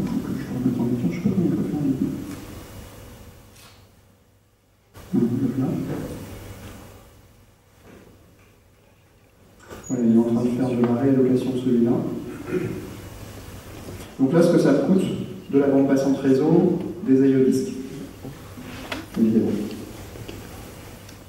Là, il est en train de redéplacer les ici. Et voilà, c'est fait. Alors si je perds un nœud, c'est pas très grave, hein. je tue un des nœuds, boum. Il devrait s'en rendre compte. Comme il y a toujours un réplica quelque part, c'est pas grave. Si je tue deux nœuds d'un coup, par contre, ça va être plus compliqué.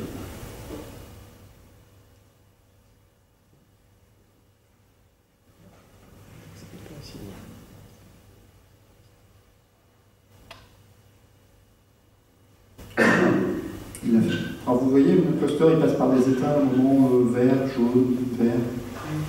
En fait, quand il est en yellow, c'est pas grave, c'est juste qu'on ne respecte pas toutes les règles de réplication. Donc euh, potentiellement, si vous avez encore un autre incident derrière, bah, vous allez ensuite avoir un vrai problème. Même quand le cluster est dans un état rouge, imaginez vous avez vraiment perdu physiquement euh, des chars, les primaires et réplicables. Votre cluster continue de fonctionner, votre index continue de fonctionner, mais il continue à fonctionner partiellement, c'est-à-dire qu'il donner des résultats partiels. Après, c'est à vous de voir si vous acceptez ça ou vous acceptez pas ça, mais en fonction de, de, votre use case, vous pouvez dire bon, bah, c'est pas grave, j'aurai euh, 75% des résultats et pas euh, tous les résultats, et tant pis, ce sera déjà pas mal. Mon utilisateur verra peut-être pas grand-chose. Euh, et puis dès que le nœud va remonter, si on peut que les données soient toujours physiquement sur le disque, à ce moment-là, elles vont revenir et naturellement dans le jeu. Je finis de tuer ça. Oui. Je le tue proprement, euh, je ne tue pas tout d'un coup parce qu'en fait je veux sauvegarder mon index où il y a mon Kibana à l'intérieur. Je veux être sûr que ça ne part pas en vrille. Tiens, je vais quand même essayer de le faire partir en vrille. hein. Je l'ai interrompu pendant qu'il faisait des trucs, normalement ça ne devrait pas les faire. Pour mon index personne, non, vas-y, non, je l'ai fait trop tard. Il avait quand même fait. Ok. Bon, donc là je me retrouve dans un état initial, comme tout à l'heure, où en fait j'ai qu'un seul nœud démarré, et on voit que j'ai des chars non assignés. Donc je suis pas dans un état normal, je suis dans un état idéal. Ok. Bon, là, je vais revenir après. Ça aussi, c'est gratos sur, pour du dev C'est gratuit pour les développeurs. Mais si tu te passes sur tes machines de prod, c'est bien. Oui, bien sûr.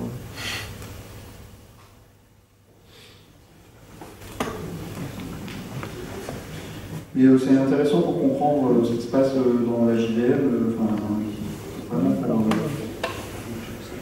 ouais, pour comprendre. Puis pour les sense aussi, c'est super intéressant. Pas de chance, moi, j'ai un verre. On a fait cette euh, démo, je parle sans micro, je vais devoir parler plus fort. On va parler un petit peu architecture.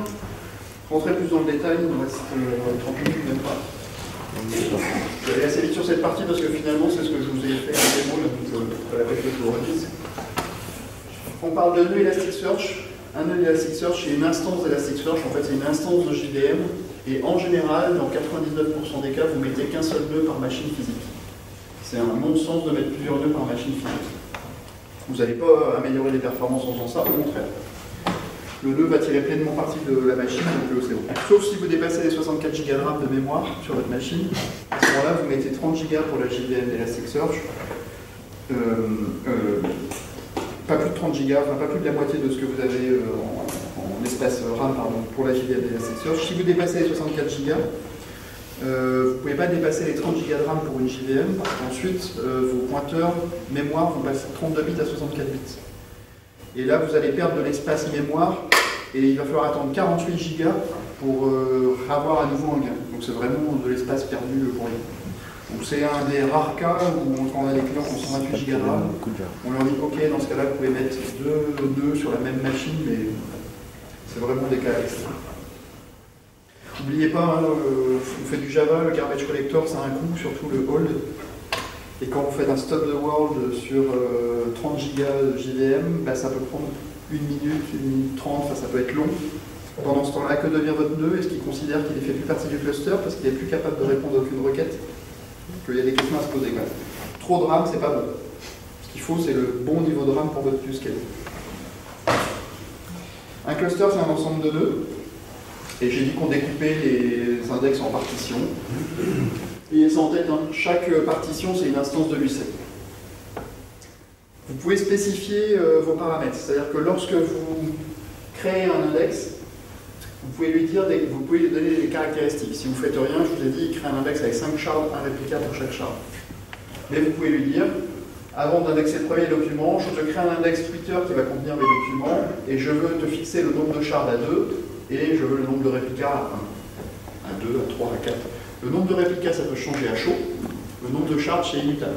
Une fois que vous l'avez mis, on ne peut plus y toucher. C'est pas un problème. hein. On n'a pas de problème de notion de resharding. Nous, on a des fonctions qui s'appellent les alias qui vont permettre de- d'augmenter les capacités d'un index. Donc, c'est vraiment pas un souci. euh, ne soyez pas apeurés par ça. Pour ceux qui ont fait du Mongo, le resharding, tu n'es pas là, j'en Donc ça, j'ai parlé de la réallocation dynamique. Quand vous démarrez des nouveaux nœuds, automatiquement les shards sont bien. Alors, qu'est-ce qui se passe quand vous indexez un document? Vous, en tant que développeur, vous n'avez pas à vous soucier de la façon dont euh, sont persistés les, les shards, sur quel nœud ils, ils vivent. Vous vous adressez à n'importe lequel des nœuds de votre cluster. Transparent pour vous. Vous pouvez faire, euh, alors là je fais de l'HTTP et du curl, hein, mais en Java ça serait un petit peu pareil. Différence en Java. Euh, globalement, j'indexe mon document euh, en me connectant à ce nœud-là. Je lui passe le document JSON. Que va faire Elasticsearch en fait? Il va récupérer le document et il va trouver le shard primaire dans le cluster qui correspond euh, à cet ID encodé avec un modulo. Euh, et il va trouver ce shard dans le cluster. Donc là, par exemple, il va dire le document 1 va aller dans le shard 0. Je trouve le primaire. Je fais mes opérations de vérification du scène, d'indexation du scène en fait, mais en mémoire, j'allais dire, à ce moment-là. Euh, et une fois que j'ai vérifié que tout allait bien se passer, je réplique en parallèle sur tous les réplicas qui peuvent exister. Et une fois que toutes les réplications sont faites, je réponds à l'utilisateur, ça y est, j'ai fini. Alors il y a des paramètres, hein. je rends ça complètement asynchrone, mais vous prenez un risque. voilà. Si j'indexe un deuxième document, je travaille toujours avec la même machine. Euh, Elasticsearch va dire, avec cette clé de routage qui est l'ID document par défaut, il va dire, bah, en fait, ce document, il est géré par le shard 1. Donc je trouve le shard 1 primaire dans mon cluster, je l'envoie, j'envoie le document par le réseau, je fais mes vérifications avec à ce moment-là, je réplique, et comme tout à l'heure, je récupère, euh, je dis que ça s'est bien passé. Du coup, on a deux instances de Lucene ici, qui sont complètement physiquement différentes. Et elles ne communiquent pas entre elles. Ça veut dire quoi? Ça veut dire que lorsque j'exécute une recherche, bah, ma recherche est nécessairement distribuée et elle est exécutée sur les deux shards. Donc je fais mon, calcul, je récupère mes documents, je fais une sorte de MapReduce, appelez comme vous voulez. Et hop, je récupère le résultat et j'envoie ça à l'utilisateur. Mais comme on a vu que ma réplication est quasi synchrone, enfin, elle est même synchrone, en fait je ne suis pas obligé de chercher tout le temps dans les primaires. Quand je fais des recherches, je vais faire du load balancing naturellement, et je vais aussi exécuter et demander d'exécuter mes recherches sur les réplicas. Par exemple, le coup d'après, je vais appeler ce, ce réplica et ce réplica. On va tous mourir, c'est la catastrophe. On a perdu un nœud. Qu'est-ce qui se passe du coup? Elasticsearch sait que le shard 1 il est ailleurs quelque part dans le cluster, donc il va réinterroger ce shard là. Tac. En même temps, il va sans doute répliquer euh, à droite ou à gauche pour respecter sa règle, mais en tout cas, il va rendre le résultat à l'utilisateur qui va sans doute rien voir si ce n'est euh, qu'un petit peu de latence. Ça va? C'est bien, hein?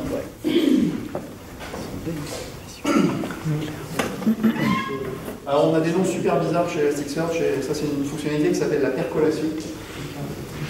Et en fait ça s'appelle la recherche inversée. Qu'est-ce que ça veut dire la recherche inversée? Ce qu'on a fait jusqu'à présent c'est qu'on a indexé des documents et on a exécuté des recherches. Et là, on va faire l'inverse. On va indexer des recherches et on va exécuter des documents. Ça veut dire quoi ça? Imaginez que vous enregistriez des critères de recherche de vos utilisateurs. Je, suis un utilisateur sur un site marchand, je suis intéressé par les jupes bleu marine, par les chaussures beige. Ce sont des critères que j'enregistre, ce sont des recherches que j'enregistre. Dès que j'ai un nouveau document qui arrive à mon catalogue, je le présente aux recherches et je dis Ah oui, ça fonctionne, c'est bien une jupe bleu marine, ça tilte là-dessus, mais c'est pas une, un truc marron. Donc ça va me ressortir au niveau de l'interpolation que j'ai trouvé un- un- une recherche préenregistrée qui correspond aux jupes bleu marine. Après, qu'est-ce que je fais avec ça De l'alerte email, je fais ce que je veux, des SMS, à vous de voir. Alors comment ça marche Dans mon index, je crée un nouveau type spécial qui s'appelle le point percolator et j'enregistre un document et ça sera le nom de mon, percolator. Ici, je veux faire mon query Excel, c'est je recherche dans le, champ- user.screenName la valeur de. Ici, je cherche dans hashtag.text la valeur Elasticsearch. Ici, c'est là, c'est la clé Elasticsearch. Ou là, je remets ma requête complexe tout à l'heure. Comment ça s'exécute? Ben, J'utilise l'API qui s'appelle percolate et je passe le document JSON que je, que je veux exécuter sur mes requêtes. La réponse d'Elasticsearch est OK, voici ce que j'ai trouvé. J'ai trouvé que ce document-là correspond à cette recherche-là et cette recherche-là préenregistrée. Et donc après, comme je vous disais, vous faites ce que vous voulez de ce qu'on vous donne. France TV Info, ils s'en servent par exemple, ils se servent d'Elasticsearch pour faire de la classification d'informations. Ils reçoivent des informations de l'AFP, des news, ce genre de trucs, en fait, pour savoir s'ils doivent ranger ça dans la rubrique monde, politique, sport et compagnie, ils utilisent un percolateur, ça dit, bah, ça tu vas le ranger dans le monde, donc ils rangent dans un des fonds. Euh, un- on a un client qui se sert d'Elasticsearch que pour faire de la percolation. Il Il indexe même pas un seul document dans Elasticsearch. Son use case, c'est quoi C'est euh, c'est un site marchand. Il collecte toutes les requêtes faites par les utilisateurs, ce que cherchent les utilisateurs. Et de temps en temps, il se dit, bah tiens, si je change le, prix d'un produit, quel impact ça aura sur les recherches Est-ce que je vais avoir plus ou moins de documents qui vont revenir Si je change la description commerciale d'un produit, qu'est-ce qui se passe, etc. Donc il sait à l'avance prédire quel sera le succès de ses futures modifications et quel sera le succès sur ses ventes. Par exemple, changer le prix d'un produit, peut éventuellement euh, enlever un euro, ça sert à rien parce que finalement, j'aurai pas plus de résultats qu'avant. Donc je le fais pas. C'est un super use case, ça, je. Est-ce qu'on doit tout indexer dans Elasticsearch? Alors, je ne vais pas faire de suspense, la réponse est non. On ne doit pas tout indexer dans Elasticsearch. Euh, on va parler analyse et mapping. Si je prends cette phrase, The quiz brown fox jumps over the lazy dog, et je suis un anglais, il y a des mots qui ne m'intéressent pas du tout dans cette phrase, comme les mots vote. Pourquoi? Parce que ce sont des mots courants de la langue, française, de la langue anglaise. Si je commence à indexer les mots courants de la langue anglaise, the, be, un genre de truc, ben, je vais avoir un index de cette taille, qui contient des mots inutiles, puis je vais avoir ça vraiment de surface utile. C'est pas intéressant pour moi. Donc j'ai peut-être envie d'analyser certaines choses. En passant de dog, je vais passer en minuscule, il y a une raison aussi. J'ai envie de faire des trucs. Et pour ça, en fait, quand on indexe des chaînes de caractères, on passe par une phase qui s'appelle la phase d'analyse. On a une API qui s'appelle l'API Analyze, qui est vraiment super utile, qui vous permet de comprendre ce que va faire Elasticsearch quand vous lui donnez des chaînes de caractères. Comment il va vraiment indexer votre contenu. Ce qu'il va mettre dans l'index inversé. Vous vous rappelez du truc que je vous ai dit, le slide le plus important tout à l'heure? Comment on fabrique l'index? Ben, C'est là que ça va prendre de l'importance. Donc là, par exemple, je vais utiliser l'analyseur standard, qui est l'analyseur par défaut si vous dites rien. Ok si j'analyse cette phrase, en fait, les tokens qu'il va me produire et qui va m'indexer, c'est quick, brown, folk, jumps, over, lazy, dog. Les vœux ont disparu. Et le D est passé en minuscule. Pourquoi? Parce que lorsque vous faites une recherche, alors ça dépend du type de recherche que vous faites, mais on va dire par défaut globalement, Elasticsearch va utiliser le même analyseur qu'il a utilisé lors de la phase d'indexation et il va l'appliquer à votre requête. Donc si vous tapez dog dog tout en minuscule, est-ce que dog minuscule égale dog minuscule Oui. Si votre utilisateur tape dog en majuscule, on passe par la même phase d'analyse, dog majuscule va devenir dog minuscule, est-ce que dog minuscule égale dog minuscule? Oui, donc je trouve le Je compare avec l'index. Et vous, on cherche dans l'index. Si je prends l'analyseur whitespace, comme son nom l'indique, va découper les chaînes aux espaces, c'est tout. Ben lui, il va fabriquer ces tokens-là. The, T majuscule, quick brown phone, jump over the, T minuscule, lazy dog. Bah, pour votre use case, peut-être que ce the là et ce the là, ça a une autre signification différente. Donc peut-être que vous les conservez la case dans ce cas-là. Donc ça, ce sont des analyseurs. Les analyseurs XPC, les analyseurs, c'est composé d'un tokenizer et de token filter. J'écoute Dites pas non parce que je suis embêté, c'est le système de l'homme. Qu'est-ce qu'un tokenizer? Un tokenizer, en fait, va prendre une chaîne et va fabriquer des tokens. Par exemple, si je prends le whitespace tokenizer, compris dans le whitespace analyzer, the dot point d'exclamation va devenir the dot point d'exclamation.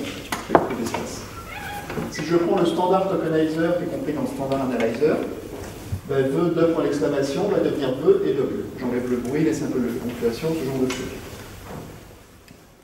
Donc je fabrique des tokens. Une fois que j'ai fabriqué mes tokens, je peux faire ce qu'on appelle du token filter. Je peux faire par exemple en français, ça nous sert beaucoup, faire de l'ASCII folding filter. Le mot éléphant va devenir éléphant dans l'index. Pourquoi ça Ben, Quand mon utilisateur va chercher éléphant sans accent, je vais trouver. Éléphant avec un accent sur deux, je vais trouver. Éléphant mais avec les mauvais accents parce que c'est pas l'orthographie correctement, je vais trouver aussi, puisque tout ça arrive sur le mot éléphant. Vous pouvez utiliser des algorithmes de stemming. Donc, les stemming vont prendre les radicaux des mots ou les infinitifs des verbes. Par exemple, le mot éléphant au pluriel va devenir élève. Si votre utilisateur cherche un éléphant au singulier, éléphanto, éléphante, éléphant au pluriel, tout ça va devenir élève. Élève égale élève, je trouve le mot. Si je prends le verbe prenez, ça va devenir prendre. J'ai pris quelque chose, ben, pris va devenir prendre, prendre, prendre, je trouve. Vous pouvez utiliser les stop words. Donc tout à l'heure, j'ai vu le standard analyzer jusqu'à présent, on avait un, un stop word en anglais. On, on vient de le remplacer, je crois, dans la version, dans une version récente, ça n'existe plus. Qu'importe. Euh, vous pouvez configurer les stop words français. Les stop words français vont éliminer les mots courants de la langue française. Donc il y a un dictionnaire qui est fourni par l'UCEN qui existe. Vous pouvez rajouter vos propres stop, stop words si vous voulez. En gros, il va supprimer le, là, un, une, être, avoir. Enfin, les mots courants, on n'a pas envie d'indexer, ça va rien. Ils vont être ignorés. Il y a un truc qui est sympa qui s'appelle le n-gram ou edge-n-gram.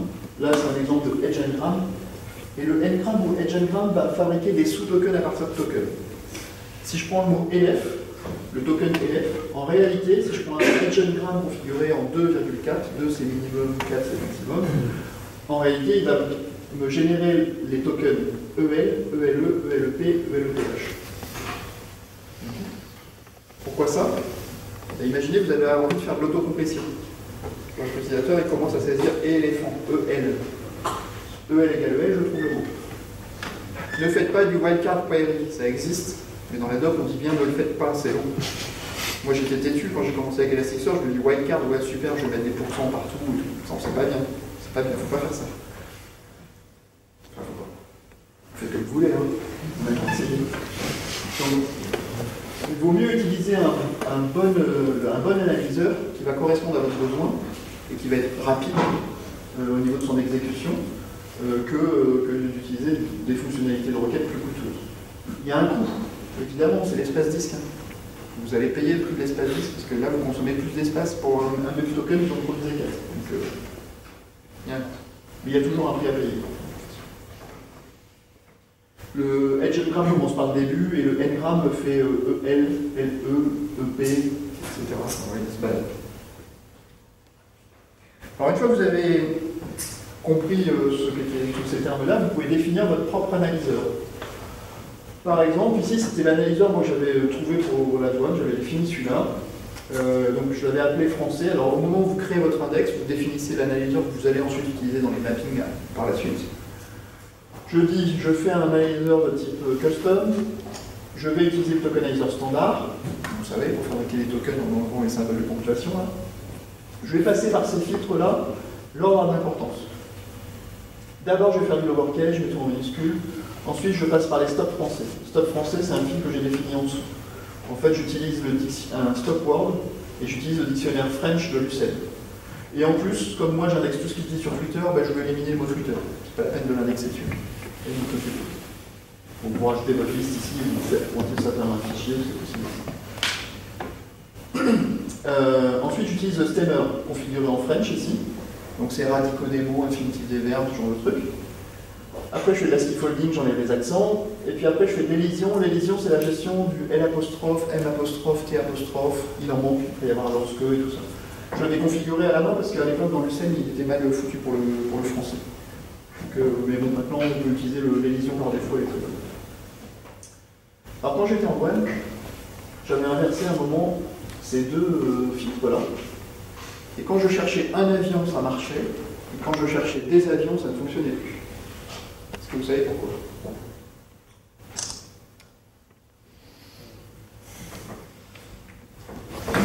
Allez, je vais vous motiver à trouver. Celui qui trouve, il a une belle punch. Le stemmer, il t'enlève le S à D. non? Non, Commencer par le DES, pour l'aider avec. non. Alors, il n'y a pas de rapport avec DES. C'est le mot avion qui est important. Verbe. Ah oui, avion. Effectivement, nous avions, ça, c'est le, c'est ce qui va aussi partie du verbe avoir. Et comme j'avais inversé les deux, bah, en fait, il passait d'abord par le stemmer, avion devenait avoir, avoir est un stop français, pouf, je dégage le mot. Donc, comment j'ai retrouvé le truc? Bah, J'ai trouvé avec l'API analyse qu'effectivement, quand je mettais avion au singulier, ça passait. Quand je mettais avion au pluriel, ça produisait plus rien. Ce que j'ai fait, bah, j'avais inversé les deux trucs. Donc j'ai sans doute produit du bruit derrière. J'ai sans doute provoqué des dégâts. Ce que je veux dire par là, c'est qu'il n'y a pas de bonne règle. Il y a votre règle. C'est à vous de tester avec vos use cases, de vérifier qu'un analyseur va bien s'appliquer. Et euh, je ne sais pas s'il y en a qui ont vu la conférence de Jérôme Méno euh, au Brycemont, quand il parlait des mais justement il en parlait ça, il abordait ce sujet-là, il disait que c'est vraiment un truc qui n'est pas trivial. Vraiment un truc compliqué à, à trouver le bon analyseur pour son use case. Alors une fois que vous avez défini votre analyseur, vous pouvez l'utiliser dans le mapping. Alors, qu'est-ce que ça veut dire? Ça veut dire que euh, vous pouvez préciser un mapping euh, avant que le premier document arrive en disant si tu vois dans mon document qui est de type 1 un champ qui s'appelle texte 1, je t'impose de le traiter comme une chaîne de caractères, c'est pas la peine de le transformer en gaz ou en quoi que ce soit, c'est une chaîne, et je t'impose d'utiliser l'analyseur français. Si tu vois un champ texte 2, lors de la phase d'indexation, je veux que tu utilises l'analyseur ngram, mais lors de la phase de recherche, je veux que tu l'analyseur simple. C'est un peu schizophrénique, mais ça s'explique quand on fait de l'autocomplétion. Un peu plus sympa, c'est que le même champ, texte 3, j'ai une valeur à l'intérieur, et je peux avoir envie de m'indexer de, suivant différentes formes. Par exemple, par défaut, je vais utiliser l'analyseur français, mais si je veux faire de l'autocomplétion, je vais aussi l'analyser avec un ngram. Donc en fait, pour faire de l'autocomplétion, je vais taper dans le champ qui s'appelle texte3.ngram, et automatiquement, ben, j'aurai ma fameuse autocomplétion qui va marcher. Ou je peux même dire, ben, quand je veux faire des facettes, des agrégations, je vais faire texte3.facette, et je ne veux pas que tu m'analyses ce qu'il y a dans, la chaîne. Pourquoi ça? Imaginez, vous faites une, facette sur une ville, prenez Rochefort-sur-Mer, Boulogne-sur-Mer, ça va vous produire quoi? Sur deux fois, mer deux fois, Boulogne une fois, Rochefort une fois. Vous ne voulez pas faire une facette comme ça? Vous voulez garder intact votre champ. Ben, vous utilisez ça. Alors, j'ai tout un tas de types dans l'Elasticsearch, j'en ai parlé euh, pour la plupart d'entre eux. Coordonnées géographiques. Les formes géographiques. Donc, vous pouvez indexer des polygones dans Elasticsearch et trouver des polygones qui intersectent celui-là, qui sont à l'intérieur d'un autre, ce genre de truc. Les polygones, ça peut être des points, des lignes. Assez sympa. Vous pouvez représenter une forme euh, comme ça, de ville. T'as un use case, euh, un exemple de use case hein Bah, typiquement, ouais, tu, tu représentes une forme de ville ou une forme de pays et tu veux savoir si un point est à l'intérieur du pays ou pas. Non, ce qui est bien avec ça, c'est que tu peux aussi euh, enregistrer tes, tes- tes formes dans un index de façon à ne pas avoir à les représenter systématiquement Elasticsearch. Donc j'enregistre par exemple toutes les formes de la communauté européenne et puis ensuite il va me trouver le nom de- du document qui correspond. Est-ce que c'est la Germanie, la France Euh, on peut stocker en format base64 du contenu binaire dans Elasticsearch. Alors ça sert à rien, mais vous pouvez le faire. Euh, avec le plugin qui s'appelle Attachment, en fait, ce plugin embarque la bibliothèque qui s'appelle Apache-Tika et on va extraire du contenu binaire euh, le contenu de vos documents OpenOffice, PDF, images, etc., les métadonnées vos photos, ce genre de trucs, automatiquement et on va indexer le contenu. C'est, euh, j'utilisais ça dans la file System River et dans Script MyDocs, mais finalement, je, je le dégageais, c'est une fausse bonne idée que ce soit sous forme de plugin. Encore une fois, ça tourne dans Elasticsearch, c'est un travail qu'il vaut mieux faire en, amont, en fait. Mais ça existe, c'est pratique, euh, notamment pour ceux qui ne peuvent pas développer en Java, euh, ils ont au moins ça. parce que faire du Tika quand on n'est pas en Java, ça. Oui, peut-être de difficulté. Alors, vous vous rappelez tout à l'heure, je vous ai dit qu'il y avait un peu de magie noire. On a fait une première recherche, on a cherché QLA Elasticsearch, et on n'a pas précisé le nom du champ dans lequel on cherchait. Tous ceux qui ont fait du Lucene devraient se dire pas normal. Quand on fait du Lucene, on cherche obligatoirement dans un champ. On ne pas chercher partout. En réalité, ce que fait Elasticsearch, c'est qu'il, quand il vous présentez un document indexé, il fabrique un document, un champ qui s'appelle underscore all, dans lequel il met à plat tout votre document JSON. Ce qui fait que quand vous ne précisez pas sur quel champ vous cherchez, en fait, il va chercher là-dedans. En réalité, c'est pas un truc super utile. C'est bien euh, quand on démarre avec Elasticsearch pour euh, se rendre compte que c'est assez facile de faire des requêtes dessus, sans se compliquer la vie. Mais en réalité, en prod, en général, je vous conseille de désactiver cette fonctionnalité, parce que vous n'allez pas vous en servir, vraisemblablement. Il y a d'autres moyens de faire ce genre de recherche un peu à la full text, plus, beaucoup plus souple et beaucoup plus agréable que le champ underscore all. Donc euh, un conseil, désactivez-le, vous allez gagner de l'espace disque, toujours moins. Euh, sinon, vous pouvez préciser champ par champ dans le mapping, mettre include all false pour dire bah, celui-là, je veux pas qu'il le recopie dans underscore all, par exemple. Donc, on stocke le champ source, le document JSON source, on stocke dans un champ qui s'appelle underscore source par défaut. Vous pouvez désactiver ça aussi si vous n'avez pas besoin de stocker de source. Et si vous voulez récupérer le source dans votre base de données source, je vous déconseille pour le coup ça de le désactiver, je vous conseille de le garder. Pas de raison. Euh, Il y a un champ qui s'appelle le underscore TTL qui permet de donner une durée de vie à un document. Alors tous ceux qui font des logs vont dire ouais super je vais utiliser ça, j'ai des logs de prod, je vois qu'au bout de 7 jours mes logs disparaissent, je vais faire ma rotation de logs, je vais utiliser le TTL. C'est une fausse bonne idée. Pourquoi? Parce que le TTL, en fait, euh, pardon, effacer un document dans Elasticsearch et dans Lucene, en réalité ça n'est jamais vraiment effacé physiquement sur le disque on va rajouter un nouveau fichier qui va dire que attention, on vient d'effacer un truc qu'on avait précédemment écrit. C'est la même chose. Donc on ne gagne pas d'espace disque quand on efface un document, on en perd. Il faut bien être conscient de ça. Après, au bout d'un moment, il y a une sorte de garbage collector à la Lucene qui va passer, qui va nettoyer tout ça et effacer les purger les anciens documents, mais c'est pas immédiat. Et ça, et ça coûte. Euh, ce qu'il vaut mieux faire dans ce cas-là, c'est créer un index par jour lundi, mardi, mercredi, jeudi, vendredi, samedi, dimanche. Et vous faites ce qu'on appelle un alias au-dessus de tout ça. Votre alias va pointer sur les 7 index. Quand vous faites une recherche, vous faites une recherche par l'alias, qui lui va exécuter la recherche sur les 7 index. Le lundi suivant, ben, vous créez votre nouveau lundi, vous déplacez l'alias, donc vos utilisateurs continuent à travailler normalement, et vous supprimez physiquement l'index qui s'appelle le lundi précédent. Et là, supprimer un index, c'est Elasticsearch fait un rm-rf euh, de toutes les instances Lucene qu'il peut avoir sur tous les disques. Donc c'est immédiat, vous récupérez l'espace disque, ça vous coûte quelques millisecondes, c'est vraiment beaucoup plus, efficace. Donc, le TTL, on peut en avoir besoin, mais à usage modéré. Ça a été fait par un Français d'ailleurs, hein, le TTL, qui a poussé ce, ce request là, il y a deux ans, je crois, trois ans. Euh, parent child, ça permet de faire des relations entre les documents. Je ne fais pas trop les relations, mais on en fait quand même. Des fois, on peut avoir vraiment le besoin de faire des relations entre documents. Donc l'idée, c'est que j'indexe un document parent, et puis quand j'indexe le document enfant, je le rattache au parent. Ça va me permettre de faire des requêtes euh, du style euh, trouve-moi euh, tous les documents parents qui ont telle caractéristique pour les enfants, ou l'inverse, tous les documents enfants qui ont telle caractéristique pour les parents, ce genre de choses. Tout ça, vous pouvez le faire. Euh, pareil, si vous pouvez vous en passer, faites-le, mais si vraiment vous avez un use case euh, qui doit vraiment coller à ça, euh, utilisez-le. Ne, ne venez pas avec des tables qui viennent d'une base de données relationnelle directement en disant Ah, bah comme j'ai des relations, paf, je vais coller mon modèle relationnel avec ça. Ne faites pas ça, c'est dépendre. Nestic, c'est des documents Lucene imbriqués les uns dans les autres. Je n'ai pas le temps d'en parler, mais sachez que ça existe. Vous serez peut-être amené à utiliser ça. Ça peut être utile. Bah, donc ce qui n'a pas fonctionné tout à l'heure, ce que je voulais vous montrer, c'était la fonction qu'on appelle le highlighting. Vous avez cette fonction qui est native dans Elasticsearch, c'est-à-dire que vous pouvez demander à Elasticsearch de surligner le texte euh, du contexte, sortir le texte du contexte dans lequel on l'a trouvé. Genre de highlighting. Vous pouvez influer sur le calcul du score, fait par euh, Lucene. Vous pouvez par exemple booster au moment où vous faites votre requête en disant si jamais tu trouves ce que je cherche dans un champ titre, ça a plus de poids que dans un champ euh, corps de texte. Plus de poids. Donc je vais booster le champ titre. Du coup, bah, s'il trouve, il va appliquer un facteur multiplicateur à ce champ-là. Vous pouvez implémenter vos propres algorithmes de scoring. On a une- un, mécanisme qui s'appelle le function score. Vous pouvez faire des trucs en JavaScript, vous pouvez mettre du random, vous pouvez, vraiment faire des choses avancées. Même plugger des- des API Java aussi.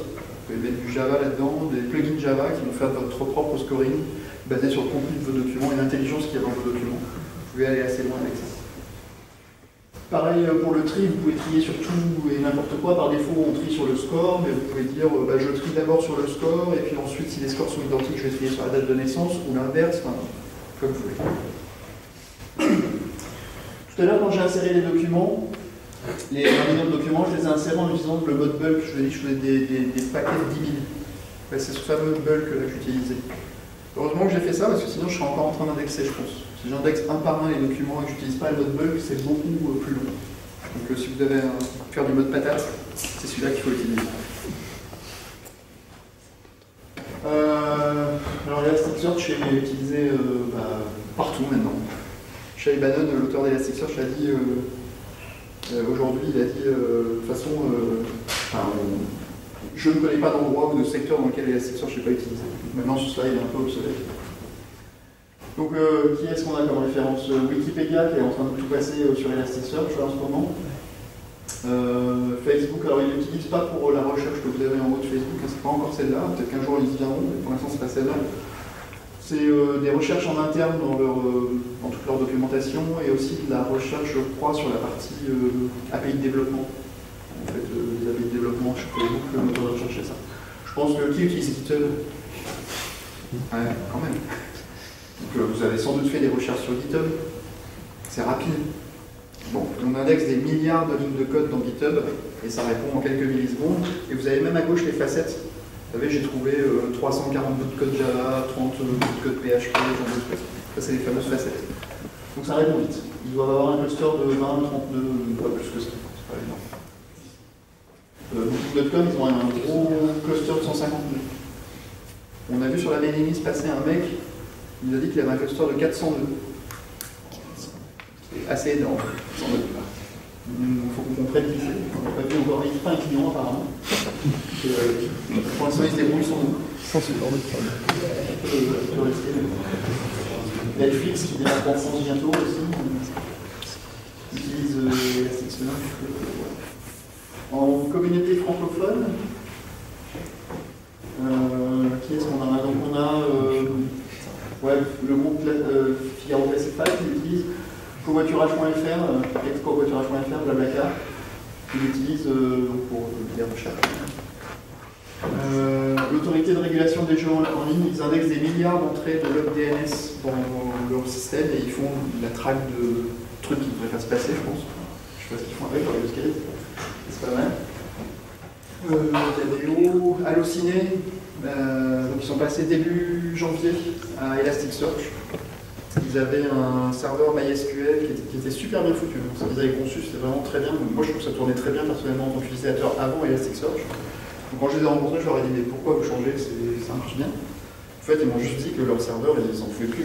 Il était à ras, il était chargé à 100%. Voilà, ils voulaient s'étendre et proposer d'autres services. Et ils savaient qu'avec euh, cette machine-là, ils, ils y arriveraient plus. Donc, ils sont passés maintenant euh, à, Elasticsearch euh, tout seuls,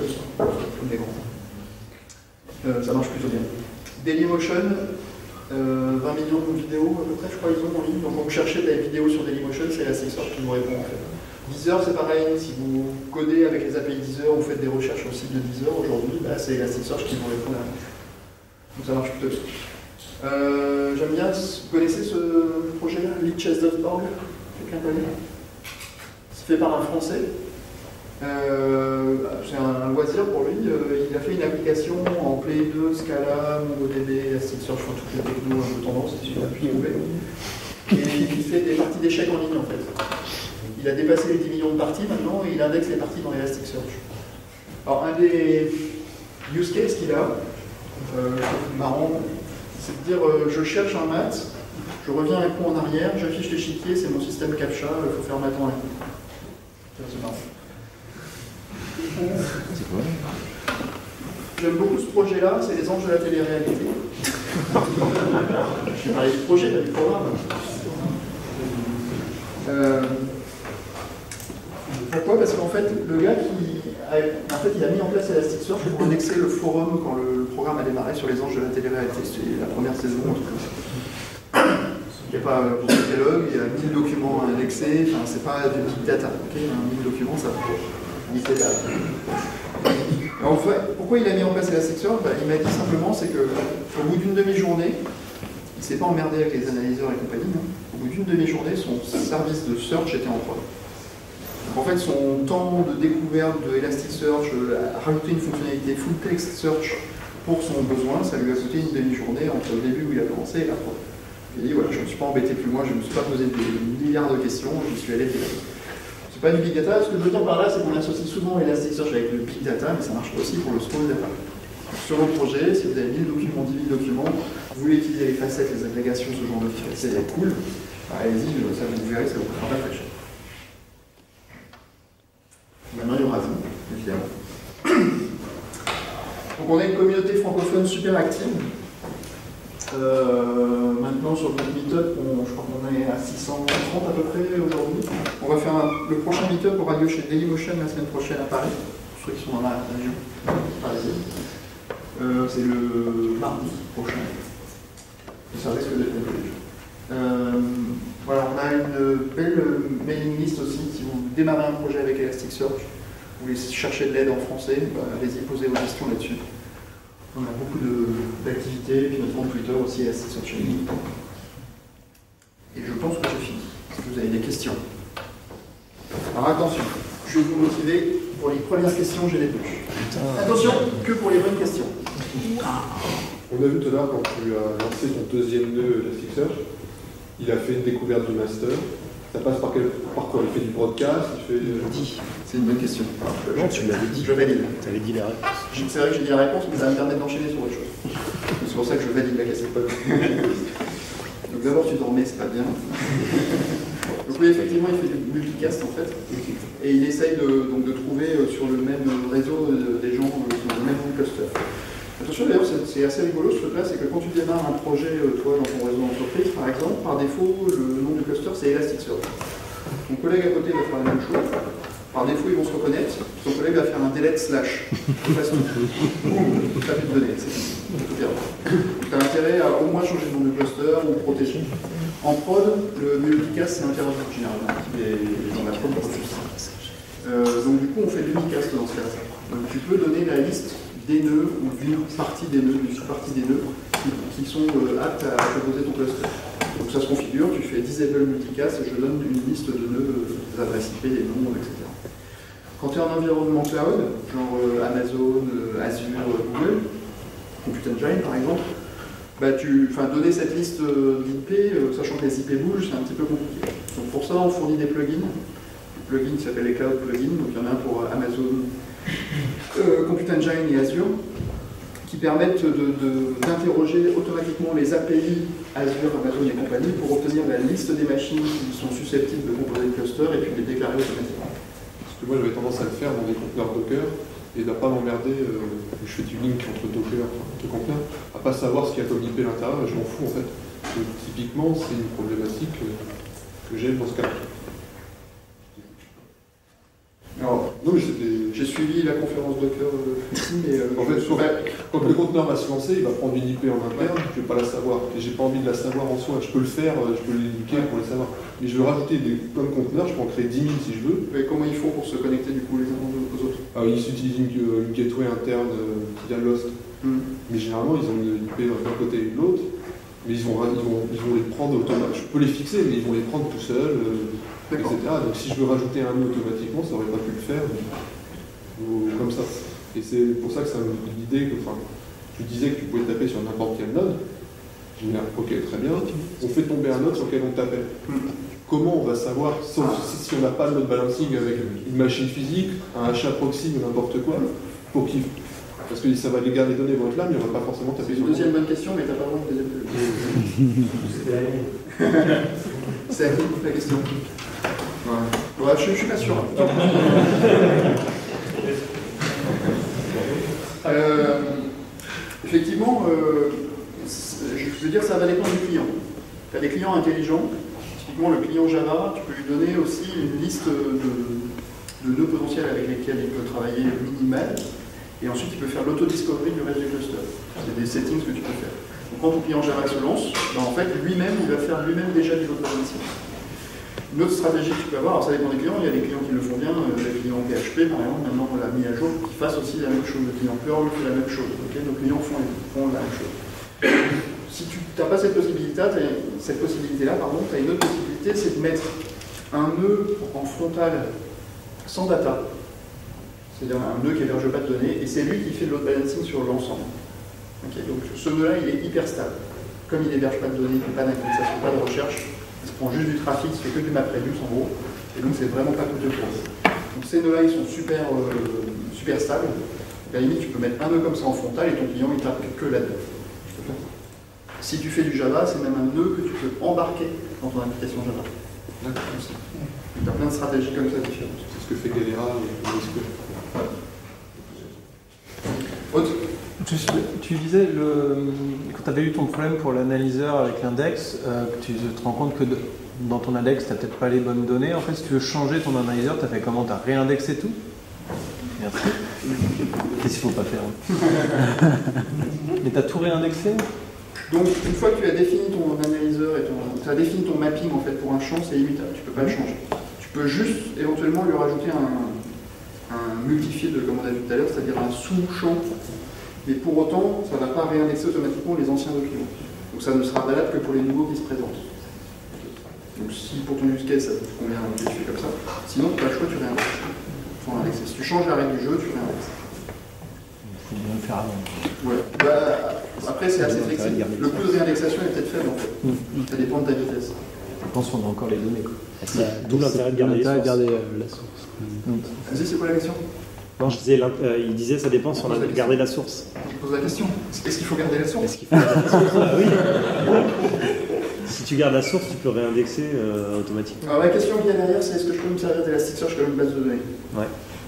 Non. Bah, si. On a vu qu'on faisait capable de faire du CRUD en fait. Ok, je fais du CRUD, du delete. Si ça, c'est pas la définition d'une base, je sais pas ce que c'est. En réalité, notre position officielle chez Elasticsearch, c'est de dire pouvez le faire, mais si vous le faites, c'est à vos risques et périls. C'est-à-dire que nous, on ne prendra aucun engagement sur le fait que ce soit stable, euh, enfin, qu'il n'y ait pas de problème. Pourquoi ça? C'est qu'aujourd'hui, tout simplement, on n'a pas de checksum dans l'UCL. Quand vous écrivez un fichier sur disque, on n'est pas assuré aujourd'hui que ce qui est physiquement persisté sur disque est ce que vous avez l'intention d'écrire. Donc c'est quelque chose qu'on va améliorer. On est euh, chez Elasticsearch, on est les plus gros committeurs Lucel. On est 7 développeurs Lucel aujourd'hui chez Elasticsearch, donc c'est des choses qu'on va pousser de façon à rendre beaucoup plus euh, fiables ces opérations-là. Euh, mais tant qu'on n'a pas ça, je dirais que voilà, on ne veut pas prendre de risques pour nos clients. On a plein de clients qui ne font que l'Elasticsearch pur comme database, ils ne se servent même pas du moteur de recherche. Donc ouais, c'est assez facile. Bah, c'est facile, hein, le sharding ça marche bien et tout ça. Ils ont, ils ont les réplicas. Le- la probabilité que ta donnée soit mal écrite sur un disque, sur une machine, et sur l'autre disque, sur l'autre machine, elle est quand même super faible. Aies un problème de checksum sur les deux machines à la fois, c'est super faible. Donc voilà, eux ils ont pris le risque. En tout cas, nous, c'est pas un, un risque qu'on demande à nos clients de prendre aujourd'hui. Et si on coupe la caméra, tu dis la même chose. Ça n'a pas toujours été ma position. Et euh, quid de la sécurité Comment on fait pour euh, avoir des, des ACL, tout ça? Pourquoi toutes les questions sont Vous avez peur en haut C'est le dernier. Puis en plus, c'est une bonne question aussi. Et j'adore la réponse. Il n'y en a pas. Il y en a pas. c'est ça. Il n'y a pas des stratégies que tu conseilles euh, que- Alors, ça dépend ce qu'on appelle la sécurité d'abord. Il y a deux niveaux de sécurité. Pour moi, il y a la sécurisation d'accès au cluster Elasticsearch. Typiquement, tout à l'heure, j'ai dit que mon Kibana il déloge directement avec Elasticsearch. Vous avez vu tout à l'heure, je ne sais pas si vous avez fait gaffe, quand j'ai mis ma démo Kibana, je suis allé sur internet et puis là, j'avais quand même mis un petit login mot de passe pour accéder à mon dashboard Kibana. Pourquoi ça? Bah, J'ai mis un NGX au-dessus de, Ouais. de mon Elasticsearch parce que sinon, n'importe quel plus va me faire un delete slash de, de mon cluster ou un shutdown ou enfin, ce qu'il veut, il va me tuer mon cluster. Donc, mettre un Elasticsearch directement sur internet, c'est une très mauvaise idée. Vous allez vous retrouver avec des trucs bizarres. Euh, donc ça c'est le premier niveau de sécurisation, il faut sécuriser au niveau réseau, soit mettre ton Elasticsearch en maquette, ce genre de choses. Le deuxième niveau de question, c'était la sécurisation au niveau des documents eux-mêmes. Parce qu'en fait, il y a certains documents qui peuvent être accessibles par certaines personnes dans l'entreprise, certains groupes d'individus dans l'entreprise, pas d'autres éventuellement. Donc ce que tu peux faire, c'est en fait le raisonner comme tu le ferais dans une base de données relationnelle euh, classique aujourd'hui. Tu es obligé de le traiter toi-même. Tu Hmm. ne vas pas croire que tu utilises les droits des utilisateurs SQL euh, sur les Non. tables. Je crois que personne ne fait ça. Donc ce que tu fais en fait en général, c'est que tu rajoutes dans ton document une métadonnée qui est par exemple le groupe ID de la personne. Ce document appartient aux gens du marketing. Ce document appartient aux gens commerciaux. Ce genre de Et après, ce que tu fais quand tu crées, quand tu exécutes ta requête, tu mets un filtre pour ne filtrer que certains documents. Mais ça, c'est pas assez cool. Ce qui est mieux, en fait, c'est de dire, toujours en utilisant les alias dont j'ai parlé tout à l'heure, tu fais pointer un alias vers les documents de ton entreprise, et les alias peuvent être préfiltrés avec des filtres définis par l'admin, en fait. Autrement dit, j'ai mon index qui contient tous les documents de l'entreprise, je fais un alias qui s'appelle marketing, un alias qui s'appelle commercial, un alias qui s'appelle technique, avec les préfiltres que je veux en tant qu'admin. Même si le développeur a oublié de développer, de, de bien coder la requête pour filtrer les documents, de toute façon, le mec ne verra que les documents. Donc il passera par les URL marketing, où tu auras authentifié. Oui, parce que là, tu l'auras authentifié avec ton reverse, ça. Donc ça c'est la bonne pratique aujourd'hui, euh, il faut le faire manuellement. Chez Elasticsearch, on est en train de travailler aussi sur des plugins commerciaux, donc des versions un peu entreprise Elasticsearch. Qu'on appelle les versions entreprise, c'est pas un Elasticsearch qui ira plus vite pour les entreprises et moins vite pour les autres. C'est juste, c'est le même cœur Elasticsearch, mais il y aura des plugins éventuellement commerciaux, un peu comme Marvel, ce qu'on a vu. Et donc on travaille euh, notamment sur la sécurité, donc je sais pas quand ça sortira, mais ouais, il y a des histoires du style, euh, on va nous demander de nous connecter avec des LDAP, enfin, des trucs comme ça Non. des trucs qui vont devenir un peu compliqués, qui vont peut-être ralentir les choses. Mais bon, c'est comme c'est demandé dans, dans l'entreprise, on va être obligé d'y passer d'avoir une offre. Mais je pense qu'elle sera pas open source, il y a de fortes chances que ce soit. D'accord, ok. Sinon, il faut le faire à la main. hein. Bon, avec un reverse, déjà, tu fais des trucs, mais c'est ok. D'autres questions? J'ai plus que j'ai d'autres questions quand même Si on a plein de filtres et de tokenizer développés pour un produit qui s'appelle Solar, c'est compliqué en fait de les de les migrer. euh, Non, parce que euh, derrière, enfin, Solar et Lucen, euh, enfin Solar utilise Lucen. Donc, euh, ce que tu as fait, c'est que tu as développé tes propres tokenizers et tes propres filtres. Ouais. C'est que tu as fait des analyseurs qui embarquent des trucs euh, standards. non, des- Tu as développé les tiens Ouais. Bon, tu vas retrouver assez facilement tes petits, euh, parce que c'est fonctionnellement c'est la même chose. Évidemment, les noms des classes vont changer, donc c'est pas la même chose.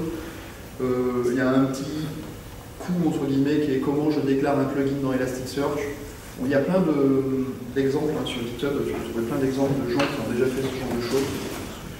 Euh, Il y a des, bah, des gens pas très loin de Rennes, hein, des, des pages jaunes qui ont pas mal travaillé là-dessus, euh, sur cette partie-là.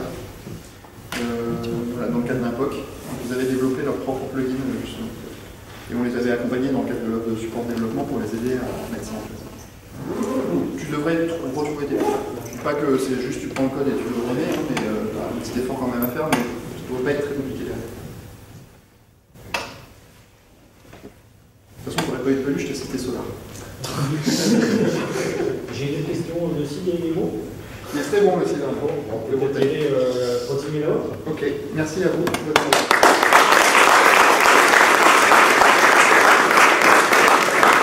J'ai oublié de dire, euh, ne me croyez pas, testez. c'est ça, c'est